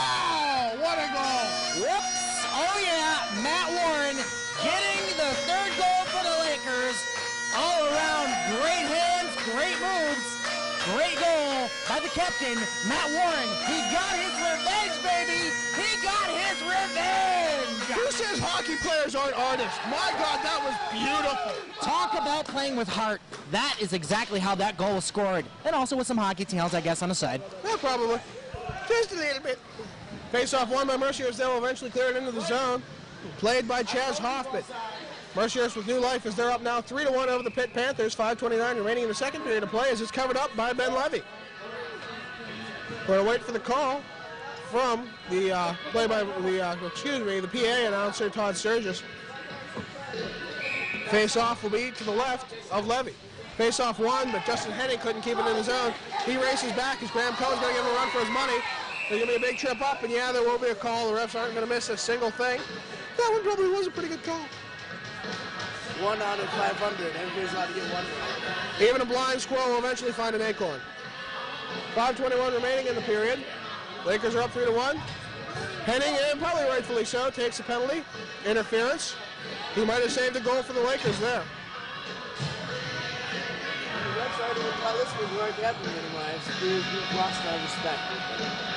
I believe it is, as I- I'm listening to the uh, bagpiper right next to me. Why, why don't you introduce yourself? You play every game. I'm Joe Fink. I'm a freshman. I'm the bagpiper for all our hockey games.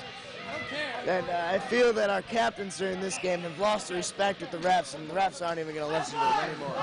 You're probably right. Two minutes for interference. Pending two minutes for interference. Time of the penalty, 14 minutes, 39 seconds. Taken out by Chaz Hoffman at the point. He plays it in the corner. And the ref falls down. Now taken behind the net. Played up to Nick DeSanti. DeSanti goes to Thomas. Gramza. Uh, time of the goal, 14 minutes, 17 seconds. Cohen plays it up back to DeSanti. DeSanti with it. He looks, shoots. Quick shot in front by Hoffman. Oh, Although just wide of the net. Carson Loveday kicking out to make sure he's on the post. He ends up pushing the net off. That was probably a good stoppage and play. We He did, a, he did a great job of hugging that post, definitely kicking back the skate, even though it knocked off the post. Great coverage of the net all around. Carson Loveday is using his size to his advantage. Even though he is not a big guy outside of that equipment, he still has a little bit of a bulk to him as a goaltender.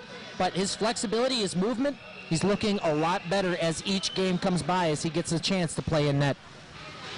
With it now, Stepanian trying to get to it. He won't be able to. Chaz Hoffman will steal the puck and go to the uh, corner where he shoots and it's his save by Loveday.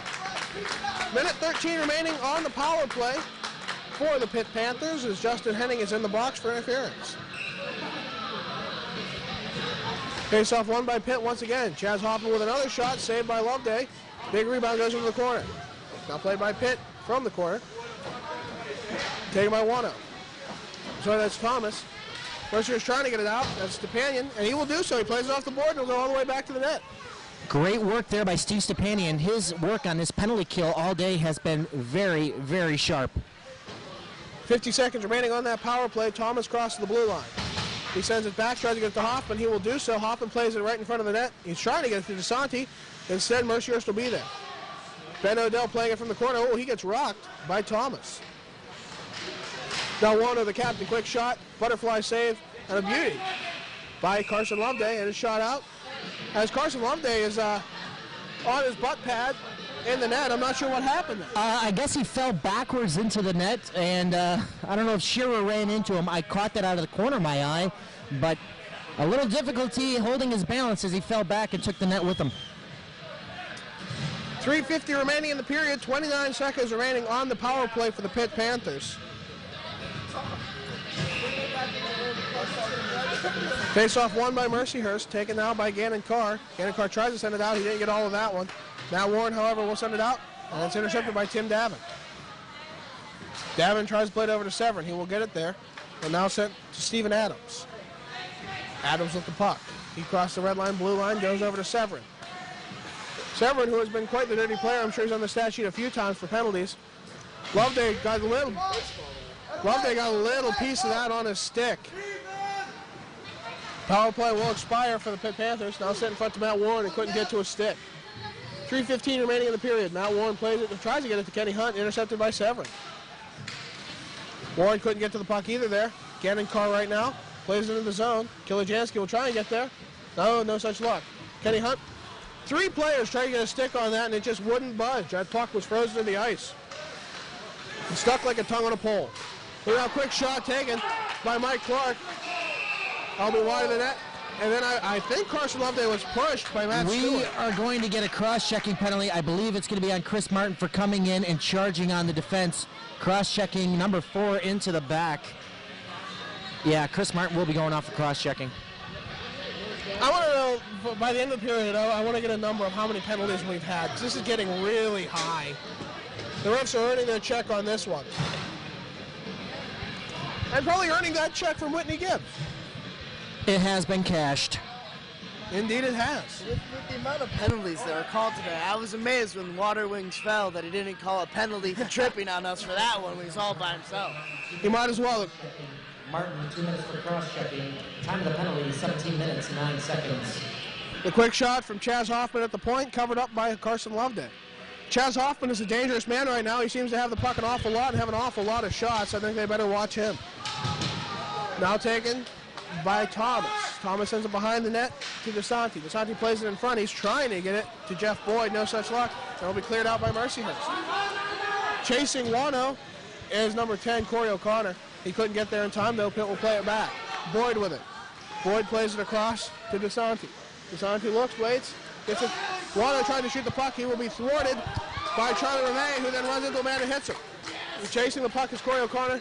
He will clear it in. 125 remaining on the power play for the Pitt Panthers. Definitely a lot of great work ethic coming out of that line. Once again, they are put on the penalty kill, and that would be Corey O'Connor and Charlie Rivet on that first unit. Great work. Played by Pitt. That's Boyd. He plays it in front. Thomas couldn't get a stick on it. Stepanian will try and play it out of the zone. I think he thought it was out. It wasn't. It was right behind him. But the loose change will be picked up by Pat Shearer. Gaines chasing it. Gaines the credit went to the fan club here. He won't be able to get there though, and I believe yes it is. That's Graham Cohen will play the puck out, and Gramza will try and get it out of the zone. No such luck. With it now, Severin. Cohen chasing the puck. He will get there at the point at the uh, corner. Excuse me. Now taken by Steven Adams. Adams plays it in front. Stepanian will be there. Stepanian looks, waits. He shoots it on net, and it's going to be uh, grabbed by Ben Levy on his glove. He will play it out. 30 seconds remaining on the power play. And that'll be icing. Icing on the on a power, power play. no, Jinx. Yep, Anyways. you, that's something you don't want on the power plays on icing. But let me tell you, the pressure being put on by Pitt is being dealt with appropriately by our defense and our penalty kill unit altogether. I mean, great two units on this penalty kill equals great, great saves from becoming, you know, closer and closer as far as the goal deficit goes. But no, three to one, Lakers are leading. This is very nice. Mercyhurst uh, penalty kill certainly has come together, especially with the return of some of these players. It's breathed, breathed new life into the special teams. I mean, they forced uh, Pitt to take an icing on a power play. I mean, icing's good on a cake, on a cookie, never on a power play. 10 seconds remaining. 10 seconds remaining on that power play. Five seconds now. As Cohen races in alone, comes in. He couldn't get any shot on the net. Chris Martin rejoins his team on the ice. Matt Warren. He crosses it one man ahead of him. Quick shot, and it'll go off the blocker. 41 seconds remaining. Warren with it. He tries to put it in front. Try to get it to Kilijansky, no such luck. Kenny Hunt will play it from in front. Now with it is Gramza. Gramza plays it into the corner to find Kilijansky. 28 seconds remaining. Sent out right in front and then cleared out by Pitt. Now taken by Gannon Carr. Carr gets it to Kilijansky, who was calling for it rather emphatically. Kilijansky almost lost his footing there. Tries to go around the other number 25, Tim Davin. He will do so, but eventually Pitt will get the puck and clear it out. 10 seconds remaining. And we're going to have another icing. Nine seconds left in the period. Well, let's see if we can get one last goal here before the intermission. But otherwise, it's going to turn out that the Lakers will be up three to one going into the dressing room. They still got a lead here after going up two to one going into the dressing room for the first intermission. Second intermission, up by two goals. Not bad, making some great progress against a very strong Pittsburgh Panthers team. Now we're going to have to wait and see how that goes. The rest of the period, just nine seconds. It'll be face-off in Pitt zone. And face-off eventually won by Mercyhurst. Taken by David Gaines. A lot of quick traffic in front. Can't tell who has the puck. A lot of quick shots. Matt Warren penalty going to be called by the linesman. And time will expire. I believe that penalty will be going to Pittsburgh, so the Lakers will start off on the power play in the third period. I'm John Baranowski with David Stearns. Join us for the intermission report right after this. John Baranowski here with David Stearns. Stearns, why is your arm up? I'm calling a penalty. Oh. I'm Oh. calling a ton of penalties. Oh, gee, trying to be like I am a... a referee at war. Can't you tell my beret's off to the side and my arm is up? Oh, oh, right, right, right. Yes, exactly. So anyway, I'm going to call a penalty on the referees myself. Uh, Gibbons is doing a horrible job. He's calling everything and anything. Let them play should be the chant coming from our crowd. Honestly, too many penalties. We already saw Whitney Gibbs get tossed out of the game. That is going to be an invaluable loss because of his physical presence out on the ice. Right. So what do you think so far about the officiating? Let's get your take. It's terrible. It's absolutely horrible. Despicable. Deplorable. I could just keep rolling off words. I'm like a human thesaurus as far as how bad this is. He's got a dictionary. Watch it's out. absolutely terrible. Absolutely horrific. Why? You know, as I, I harken back to football because that's where I started commentating. That's where I started playing, being an athlete. Athlete, being you know taken taken lo- taken loosely, very loosely. Cool. Anyways, the referees say you can call it, make a penalty on every play. You can throw a flag every down. Oh, you really can. You really can't because that's what happens out there. I mean, let the guys play. They're grown men. They can go out and play the game, and they police themselves. Do you know what's funny when you said that? The first thought that came to mind, what is hockey known as? Football on ice? No, gentleman's sport. gentleman's sport. There is nothing gentlemanly like about this game today. What is it, golf? Oh, seriously. Everybody, yeah, everybody up here in the crowd. Clap, clap, clap, clap, clap. Nope, don't think it's going that way, folks. Everybody's into this game, from the crowd to the benches to the referees. There is some intensity out there, but the referees aren't allowing that intensity to grow into anything. You got to play with passion out there, but the referees are denying both teams the ability to play with passion. They might as well play in bubble wrap at this point. They just can't touch each other. They can't get anywhere near each other, but there's going to be a whistle. And you know what? I shouldn't be sounding like sounding like this. We are up three to one off that lovely Matt Warren goal that Oh, caught the toe end.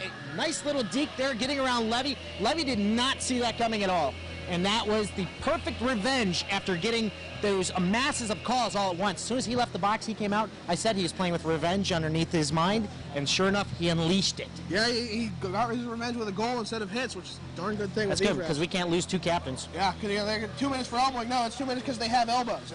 Yep, yep. seriously. Can you lick yours? No, uh. I'm not even going to try. That's my color comes. Sorry. Anyways, we're up three to one. We're looking for a good third period. Mercyhurst uh, is going to be on the power play for a full two minutes starting this.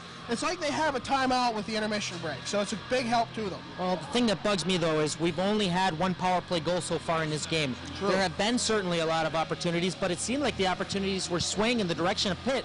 Pitt has not gotten themselves too much going on the power play except for the one power play goal that came in the first period. Mercyhurst is going to play a bend but not break. I mean, they, it's got the, the penalty kill has been phenomenal so far. For the first time this year, I can really say they have been phenomenal. They're out there. These new guys coming back have Oh, yeah. really done their job. And I like the addition of Kilijansky on that first unit, and I Yes. do like the, uh, well, they had Kilijansky toggling in and out of that first unit. Uh, and then I believe he's on the second unit with uh, Stepanian. Stepanian's doing a great job. And what I saw, the best power or penalty kill unit came out of uh, the first line, which was Reve and Corey O'Connor. Corey O'Connor had some shorthanded opportunities. Unbelievable. It's, it's rare to see, especially with this Mercyhurst uh, you know penalty kill. They have you know special teams has been a problem so far this year. There's one thing we should bring up though, and it was noticed because the penalty kill had Corey O'Connor out there with uh, Charlie Reve, who was missing from that equation that's usually out there in the penalty kill, even though he's only been back for a game. That was Walt Ozanek. You could tell his presence is missing on the ice. Right. Well, Ozanek did take a, a big knee hit. We're gonna have to see how he does because you don't want to skate on that more and hurt it worse. You have to you got to ice it, you got to rest it, and hope he comes back next week. And this hurts because looking at who's inactive right now on the roster, Blake Camlin's out with a rib injury. I mean, Whitney Gibbs just coming back from an ankle injury takes himself out of the game again. And uh, Mike Miranda being out, Andrew Thrasher being out, Gary Peterson being out, uh, Pat Leone with his broken fist. Uh, it's just all around. These injuries and these ineligibilities are coming to haunt this team. Well, we're just gonna have to see if they can come out and play with heart like they have been for the past two periods. We got 20 minutes more. Stick with us, folks. It's gonna be a good one. Don't stop believing. John Baranowski here with David Stearns to start the third period. Our regular cameraman is uh, helping out. He's on assignment right now, checking out what's going on. We have a bit of goings on on the other side, uh, on the far bench. Uh, we believe it involves Steve Stepanian. We don't know. We're not going to say any more until we know for sure what's going on. For now, uh, Ash- Ashley Harper is helping us out. I, I hope I said your name right. yeah, she, she giggled, so I'm hoping that's the right answer. Well, from what we know from Molly, uh, our uh, game official here on our side of the uh, boards here, she has informed me that Steve Stepanian had a cut on his chin, and while he was talking with the trainers, he had passed out. He had fainted. So we are going to keep you all updated on that situation as more information becomes available. Nice guy and a great player, and uh, I, I sincerely hope that he's all right. We'll have to wait and see, though. In the meantime, play has started. We've missed about 50 seconds of play. Nothing too big happening, though. Mercyhurst had a, quite a bit of play here in uh, the Pitt zone, although they are on the power play for the full first two minutes. So we're going to wait and see. Uh, as uh, as my cameraman comes back, Derek Sobczak, who you'll, I'm sure you'll see his name in the credits, the regular ice official is not on the ice. The officials playing, they got a two-man system. They took the other linesman off. Oh, interesting. He's one that also pushed whatever. All right, well, 18:34 remaining in the in the third period. I'm sorry. Uh, continue. Oh, go ahead. totally lost his train of thought. Less than 30 seconds remaining. All right, Derek, why don't you go up and relieve Ashley? She's been nice enough to help us out in the first minute. Let me have another. No breaks for you. 15 seconds. The. That looks like Stepanian will be uh, going to the hospital. We're going to find out what exactly is going on. I apologize for the chaos. Uh, you might have to change a tape there, Derek. Uh, we'll find out later. 18 minutes remaining. The power play expires for the Mercyhurst Lakers. They're up three to one. No action on that power play of note. Sent up by Matt Warren over. They tried to get it to Reve. Now Pitt has it. Sent up Warren, steals the puck, dances around one man, skates him out of his boots. Tried to get around another. Oh, he can't get around the captain, Jeremy Wano. We do have some good news, though. Walt Ozanek is on the ice, but he looks like he's struggling a little bit to get his legs back, but he's taking a short shift here. All right, 17:33 remaining in the game. Mercyhurst up three to one. I'm John Baranowski with David Stearns as we uh, try and get our feet back under us. Quite a bit of a interesting action. 3-1 Mercyhurst. Taking it, it is Kilijansky. He shoots. That'll be wide. Coming out of the zone. Gannon Carr takes it just beyond the blue line. Everyone tags up as he clears it in. Pitt with it. Jeremy Wano behind the net. He waits and looks and tries to see if something will set up. He thought he saw something. He passed it up to Thomas Bednar, and we'll have an icing call. Check the tape. Did you, did you change it? Oh. All right. Well, again, I apologize for the chaos, but we did not expect that in the uh, the last two minutes of the intermission report. So we'll wait and see what that comes out of. With now Stefanski within the corner, pressured by DeSanti. Now played by number six, Justin Thomas. He passes off to Cohen. Cohen with a quick shot, that'll go wide. With it now, Mercyhurst plays it up. Goes to O'Connor. Corey O'Connor crosses the blue line. Gets around one man. Stefanski picks up for him. Oh, and, and Connor gets hit for the second time tonight. They catch him in the arms. He goes, uh, spins around goes down. Stefanski playing hard. He's uh, pinning Tim Dobbin, trying to get the puck. Pitt will eventually come out of it. Graham Cohen pass it up to Thomas. Thomas crossed the blue line, quick shot. Into the logo of Carson Loveday. He will hold on. That initial rush into the zone, I really thought that. Well, we're back now. I apologize. David Stern was talking right through that. I was completely oblivious until my cameraman said something. Uh, he was changing the tape. Uh, so we'll have to see how much we missed, and hopefully in the editing room I can make that look uh, rather nice. That's all right. Nothing I say is ever important. And then with the uh, self-effacing comments, David Stearns. Thank you very much. I'm always hard on myself. Quick shot taken by Steve Kwachik. And it's held on to by Carson Loveday. Now I guess I'll say Corey O'Connor took an initial hit earlier. And uh, we're still checking in on what happened with the other linesmen, considering we only have two linesmen out there. And uh, Gibbons, uh, the usual referee, is not wearing the orange bands, but we'll have to keep uh, you guys posted if any information becomes available. Yes, this game has devolved into chaos. Now sent out, out on the boards. I believe, yeah, Odell has it, but he's playing hard by Ryan Severin. Eventually he'll get in. Kilijansky with a quick shot. Oh, he puts it, uh, tried to get to Matt Warren. Matt Warren wasn't up far enough. Now taken by Pitt. Uh, it is, I believe, no, it is uh, Mike Clark. Clark plays it around the board. That was wide. Now taken by Bednar. Bednar with a quick shot. That also wide. Been played in by DJ Zeh. Yes, his name is Zeh, Z-E-H. So I hope I'm pronouncing that right. There? Zeh. Zeh. now taken, Severin. Try and place it around the board. Pinned up. Eventually, the puck will dribble out, played by David Gaines. No, it's kept on the point by Cole Lukasinski. Now taken by Gannon Clark from behind the net. He's played hard by Mike Clark. Clark will go down after spinning out. And with it still is Ryan Severin. Severin will eventually have his pocket picked by Kilijansky. However, no one really had it. It's just played right up out of the zone. Was shot right into the pads of David Gaines. He holds it in again. Oh, David Gaines ends up leaping and, almost drop kicking uh, inadvertently DJ Zach. Gaines with it behind the net. He plays it out in front, no one there. Kept in, Chris Martin. Kenny Hunt chasing into the corner. Gaines plays it out. At least he tries to. Matt Warren will take it from the near corner. Warren says out no, it'll be, come off the stick of Justin Thomas. Now cleared back into the zone by Warren. Mercyhurst will go off for a change. And sent out to Justin Thomas. Thomas, the puck will get a little ahead of him. Mercyhurst will play it out. So taken by Tim Davin. And Thomas tries to get it back. Puck will come out. Nobody seems to really have possession of the puck. It's chaos on the ice as well as in the uh, commentating. Well, the line change uh, kind of set a different tone here, but that last shift by Mercyhurst was an all or nothing mentality. That was a great, great work effort all uh, effort all around. O'Connor tries to get there. There's going to be a call made. I, I think Cole Lukasinski, I thought he dove for it. I guess, yeah, he was hooked. There was a bit of a water skiing effort right there.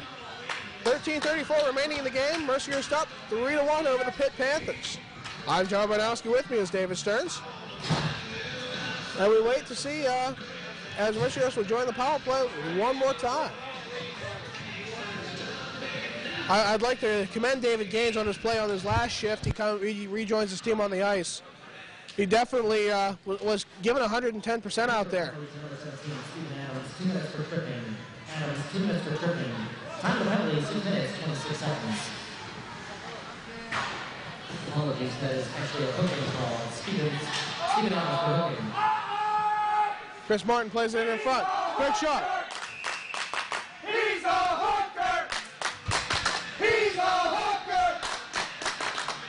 by deliberate silence as the uh, fans say it all. 141 remaining on that power play. Mercyhurst already had three or four shots. Face off to be taken and one by Pitt. Chris Martin with it at the point. He tries to send it in. Stefanski will have it in his skates. Stefanski plays it over. There's going to be a whistle. Yes, Gary Bettman makes the call all the way from behind. There's going to be an interference. Uh, David Gaines. Wow. I, I'm just going to start reading the thesaurus for words for terrible. I was going to read it out. David Gaines after some phenomenal play. But whenever someone gets excited, they get slapped down and thrown into the box. Or kicked out like Whitney Gibbs. 13.07 remaining. We'll have a four-on-four hockey game for the next minute 33. After which Pitt will have a short power play. First year penalty to the point, David Gaines, two minutes for interference. Gaines, two minutes for interference. Time of penalty, six minutes, 53 seconds. Quick shot. Good save by Levy. Pitt gets it back. That's taken by Mike Clark. Clark shoots, and it'll go wide of the net. Now taken. Ben Odell comes out from behind his own net. He passes it up. Matt Warren. Matt Warren, one man ahead of him, tries to go around him. Quick shot. And it'll be held on to by Ben Levy. It was kind of trivial that call against David Gaines, as it was kind of like just a shoving match in front of the net. I don't understand how David Gaines got the uh, higher end on that call, whereas I guess the uh, Pittsburgh defense looked like they were just as guilty as David Gaines was. So it was more or less a judgment call from the official up at the top of the blue line who saw everything, but who knows? Judgment calls, not so good judgment when it comes to refereeing. Yeah, that goes right back to, uh, you know, letting them play the game as opposed to calling everything as, as the rules say. With it now, dancing around a man. Justin Thomas had a phenomenal effort right there. 46 seconds remaining on the four on four. Another quick save by Carson Loveday. I believe that was also shot by Thomas. Odell with it from the corner. He clears it way up and all the way back to the Pitt blue line. Played out by Tim Davin. Gannon Carr will take it from in front of the crease. Jumps behind the net and goes over to Odell in the corner. Odell sends it over to Kenny Hunt. Hunt with the puck crossing through the neutral zone. He dipsy doodles around one man. That's Tim Davin. He went around. Decides to go around the net. Plays it out in front. No one there. Gannon Carr will take it from the blue line. Blue, uh, Gannon Carr, excuse me, has his pocket picked. Sent out of the zone. And then Pat Scherer won't be forced to put it back in. Six seconds remaining on the four on four. Davin sends it up. Warren will hit Ryan Severin as he, as he gets rid of the puck. Pitt will be on a short power play for the next 20 seconds. Behind the net, Pitt has it. Ryan Severin. Severin, who has been the brunt of many a hit because he's been, uh, well, dare I say, a dirty player so far. Now taken by Jeff Boyd. Boyd sends it in front. Nick DeSanto picked up the puck. Quick save by Carson Loveday. Five seconds remaining. A little bit of a misplay on the puck by Pat Shearer, but Carson Loveday did a great job of recovering as he saw that Pat Shearer was having a little bit of difficulty with that puck, controlling it in front of the net. Carson Loveday saw that one once again all the way through. He's doing a great job thus far. Face off one by Pitt in the Mercyhurst zone. Quick shot and held on to it once again by Carson Loveday. Three seconds remaining on that power play. As long as he keeps on controlling that puck there, as soon as uh, we see David Gaines leave the box, we'll take a look and see if they'll pass it up to him on a break. Face off one once again by Pitt. Penalty will expire. Quick shot taken by Chaz Hoffman. With it now. Jeff Boyd from in the corner. Pass it behind the net. Sends it across. Play behind the net by Boyd. Boyd behind the net. Quick diving shot by Steve Kwashek. That'll go wide. 10.46 remaining in the game. Quick, oh, big hit by Pat Scherer. I'm, I'm not sure who that is. That was Kwachuk. Scherer not taking any lip from nobody. Puck cleared in. Played by Kwachuk one more time. Loveday directs that behind the net. Now sent out. Pitt tries to keep it in. No such luck. David Gaines will have it. One man ahead of him. Two on one attempt was Matt Warren. He tried to get it to Warren. No, Jeremy Wano will get in, the way. That pass just wasn't hard enough. With now Justin Henning from the blue line. He sends it into the far corner. Looks like the uh, front line will get a change. Coming on, Charlie Rivet will put, pass the puck into the zone. Held on to halfway through the third period of play. Keeping it in, will be Stefanski. No, he'll have to come on and retreat over the blue line. Now played over. Scherer, I'm sorry, excuse me, that was uh, Charlie Reve put it in.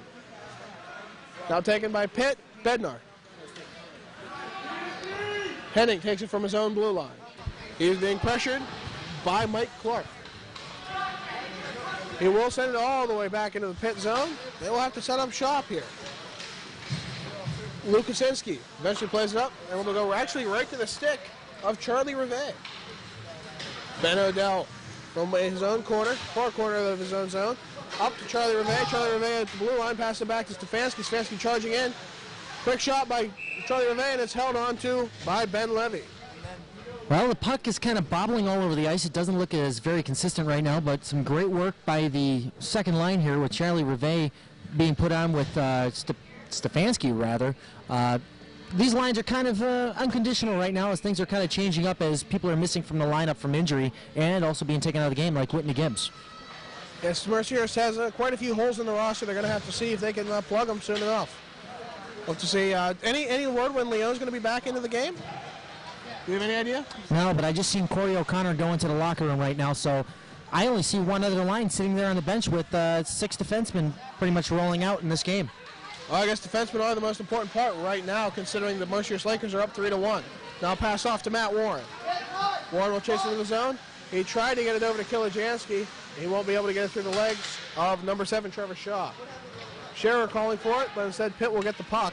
Now taken by DeSanti. DeSanti takes a quick shot, and that'll go off into the corner. Now taken by DeSanti. O'Connor is back on the bench. He was just going to get something. Uh, I think it was water from the locker room, but now we have a scrum in front.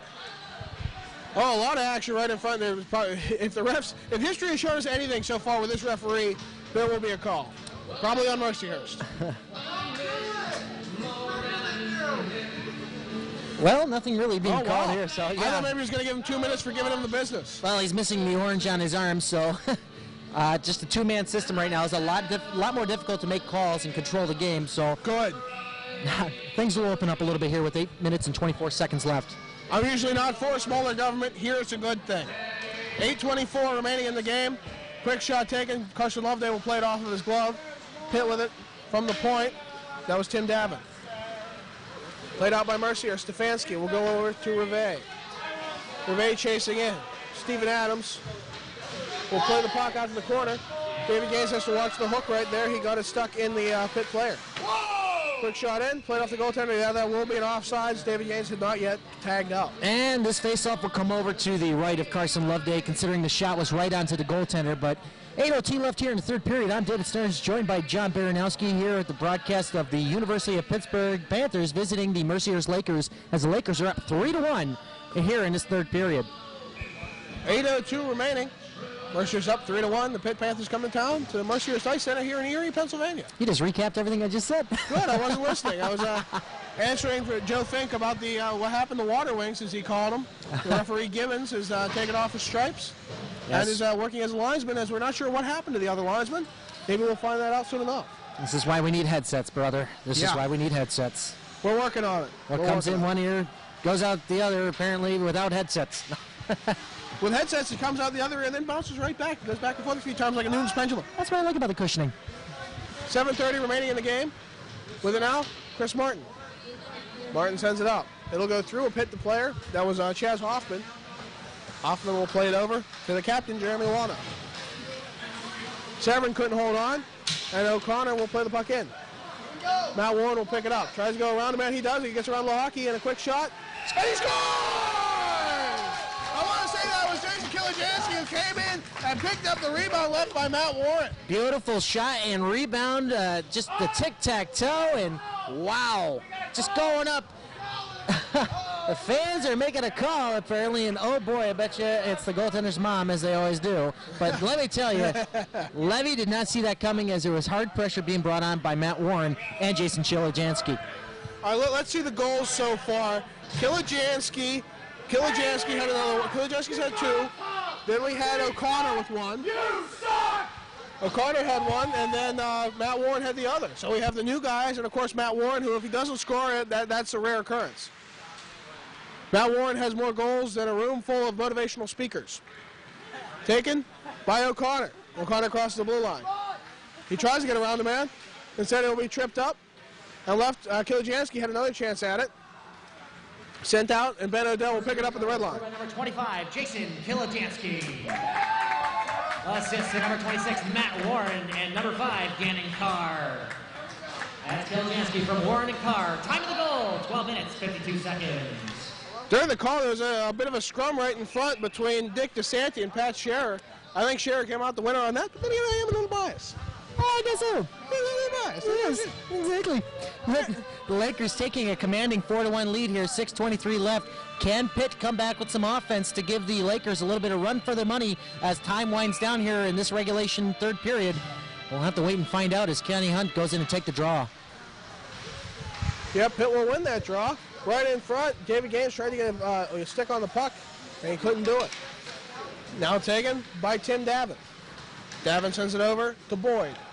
Boyd racing in. Pad saved by Carson Loveday. Now taken by Kwachuk from the corner. Tries to send it out in front. Boyd with a shot, that'll go wide, and it'll come all the way around the boards. I have some news to deliver here. I'm seeing Walt Ozanek walking around the board, so he has taken himself out of the game, though we saw him take one shift earlier on in this period. Well, that's probably good. He might have to rest it up. He just wanted to make sure he was still able to skate Like I it. said about skating on it could cause more damage. Right, David Gaines coming out. Charlie Reve to his side. David Gaines put it in the zone. Almost an interference by Steven Adams. No call. Now taken by Gaines around the net. He passes it out to Carr at the point. Carr with a quick shot. That'll be a pad save. Rebound goes into the corner. Mercyhurst players, they went right for the player instead of the puck. The puck sat right behind them. Nobody was there to pick it up. Sent round the boards by Kenny Hunt. Everyone tags up. A few players will go off for a change. I just got an indirect update on Walt Ozanek. He has a torn meniscus, and I believe that will be in his left leg. Oh, wow.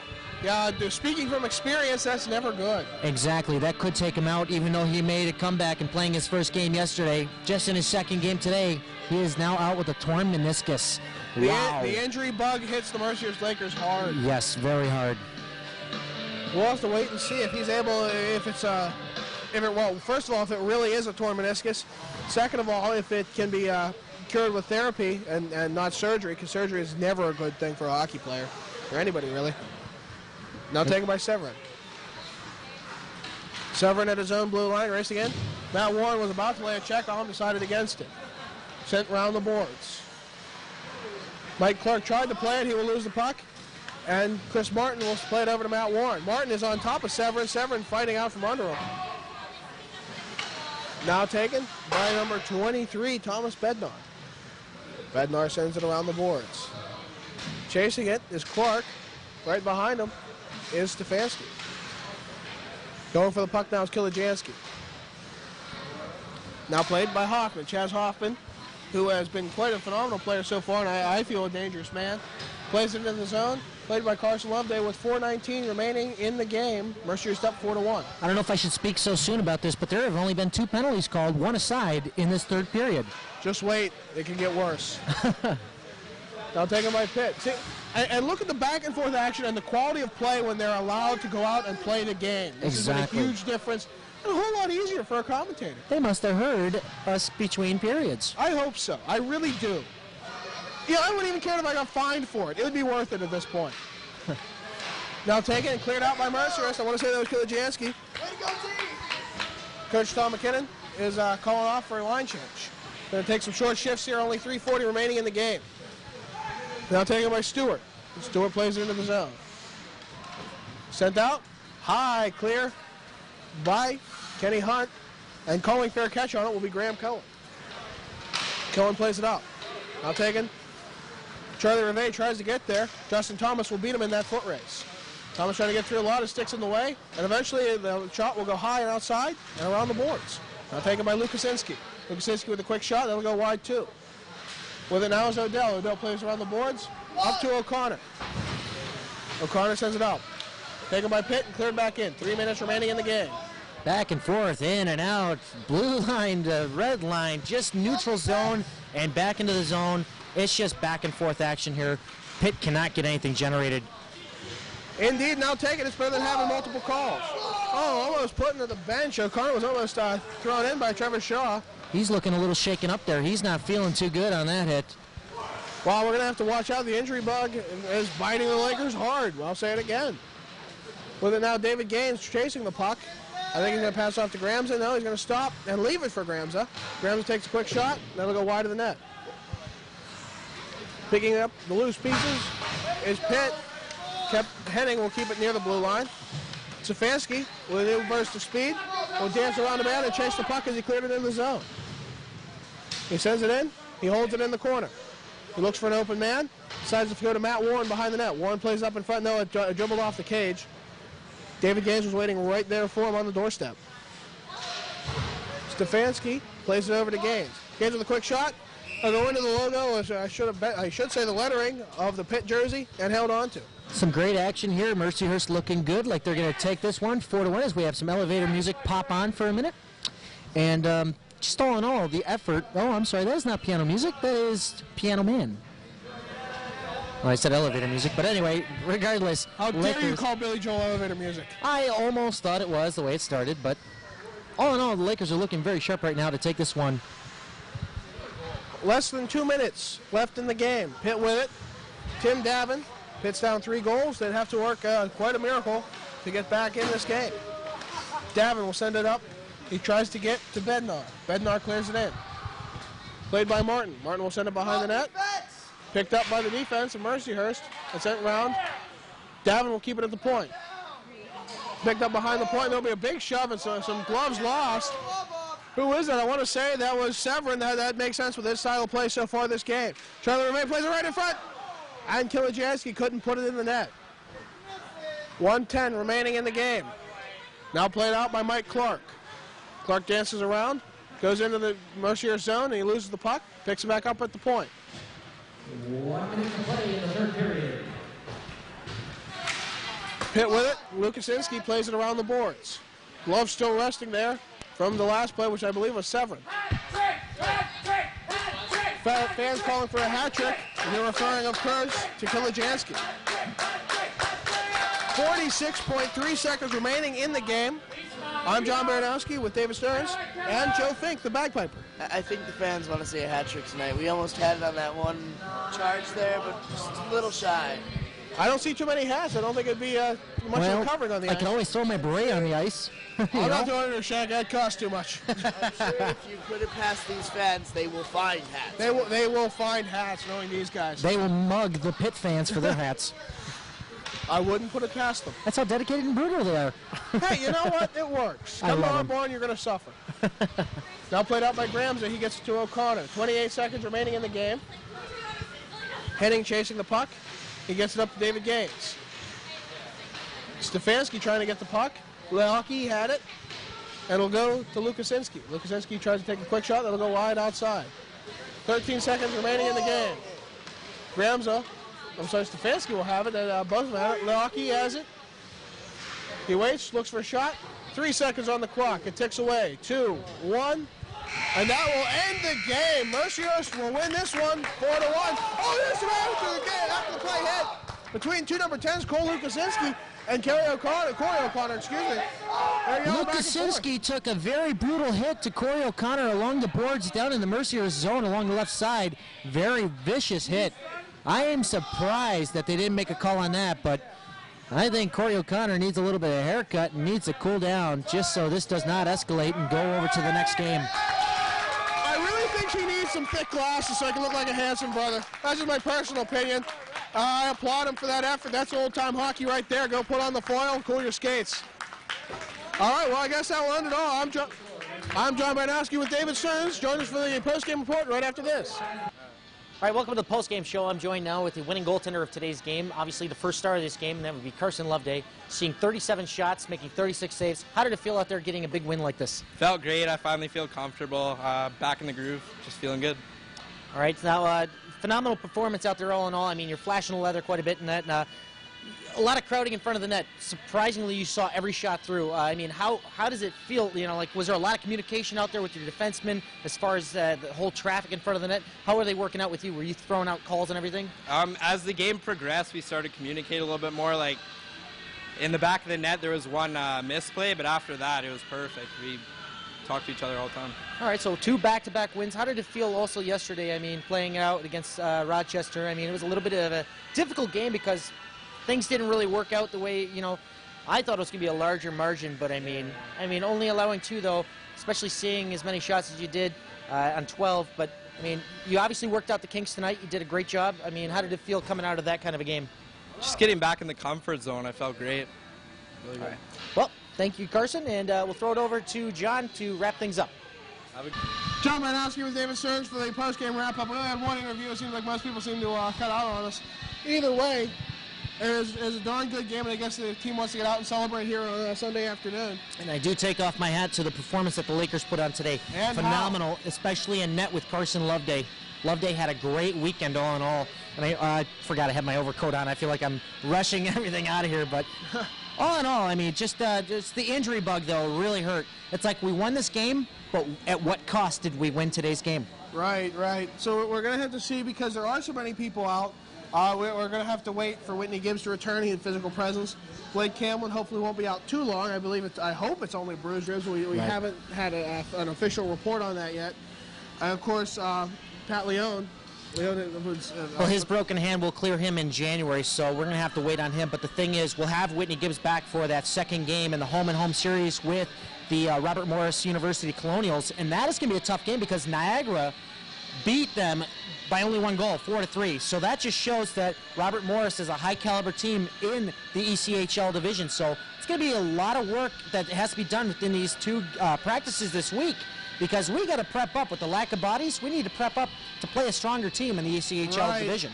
Yeah, uh, training physical condition is going to be a huge part of the Robert Morris Colonial home and home series. These guys are going to have to come out here and they're going to have to have full wind at all time. I mean, you're going to have to play maybe two, maybe three lines. You know, you're going to have some players mixing in just to try and, keep things fresh. It's going to be interesting. It's going to be difficult. Mercyhurst really has to prepare for this week. Who do you think is going to start in that game, though? I mean, we saw a great performance by Carson Loveday this weekend, considering he only let in, or he let in two goals on 12 shots against Rochester. But tonight, he saw 37 shots, made 36 saves. Phenomenal. These are actually quality shots that he was seeing too. They weren't softies like yesterday.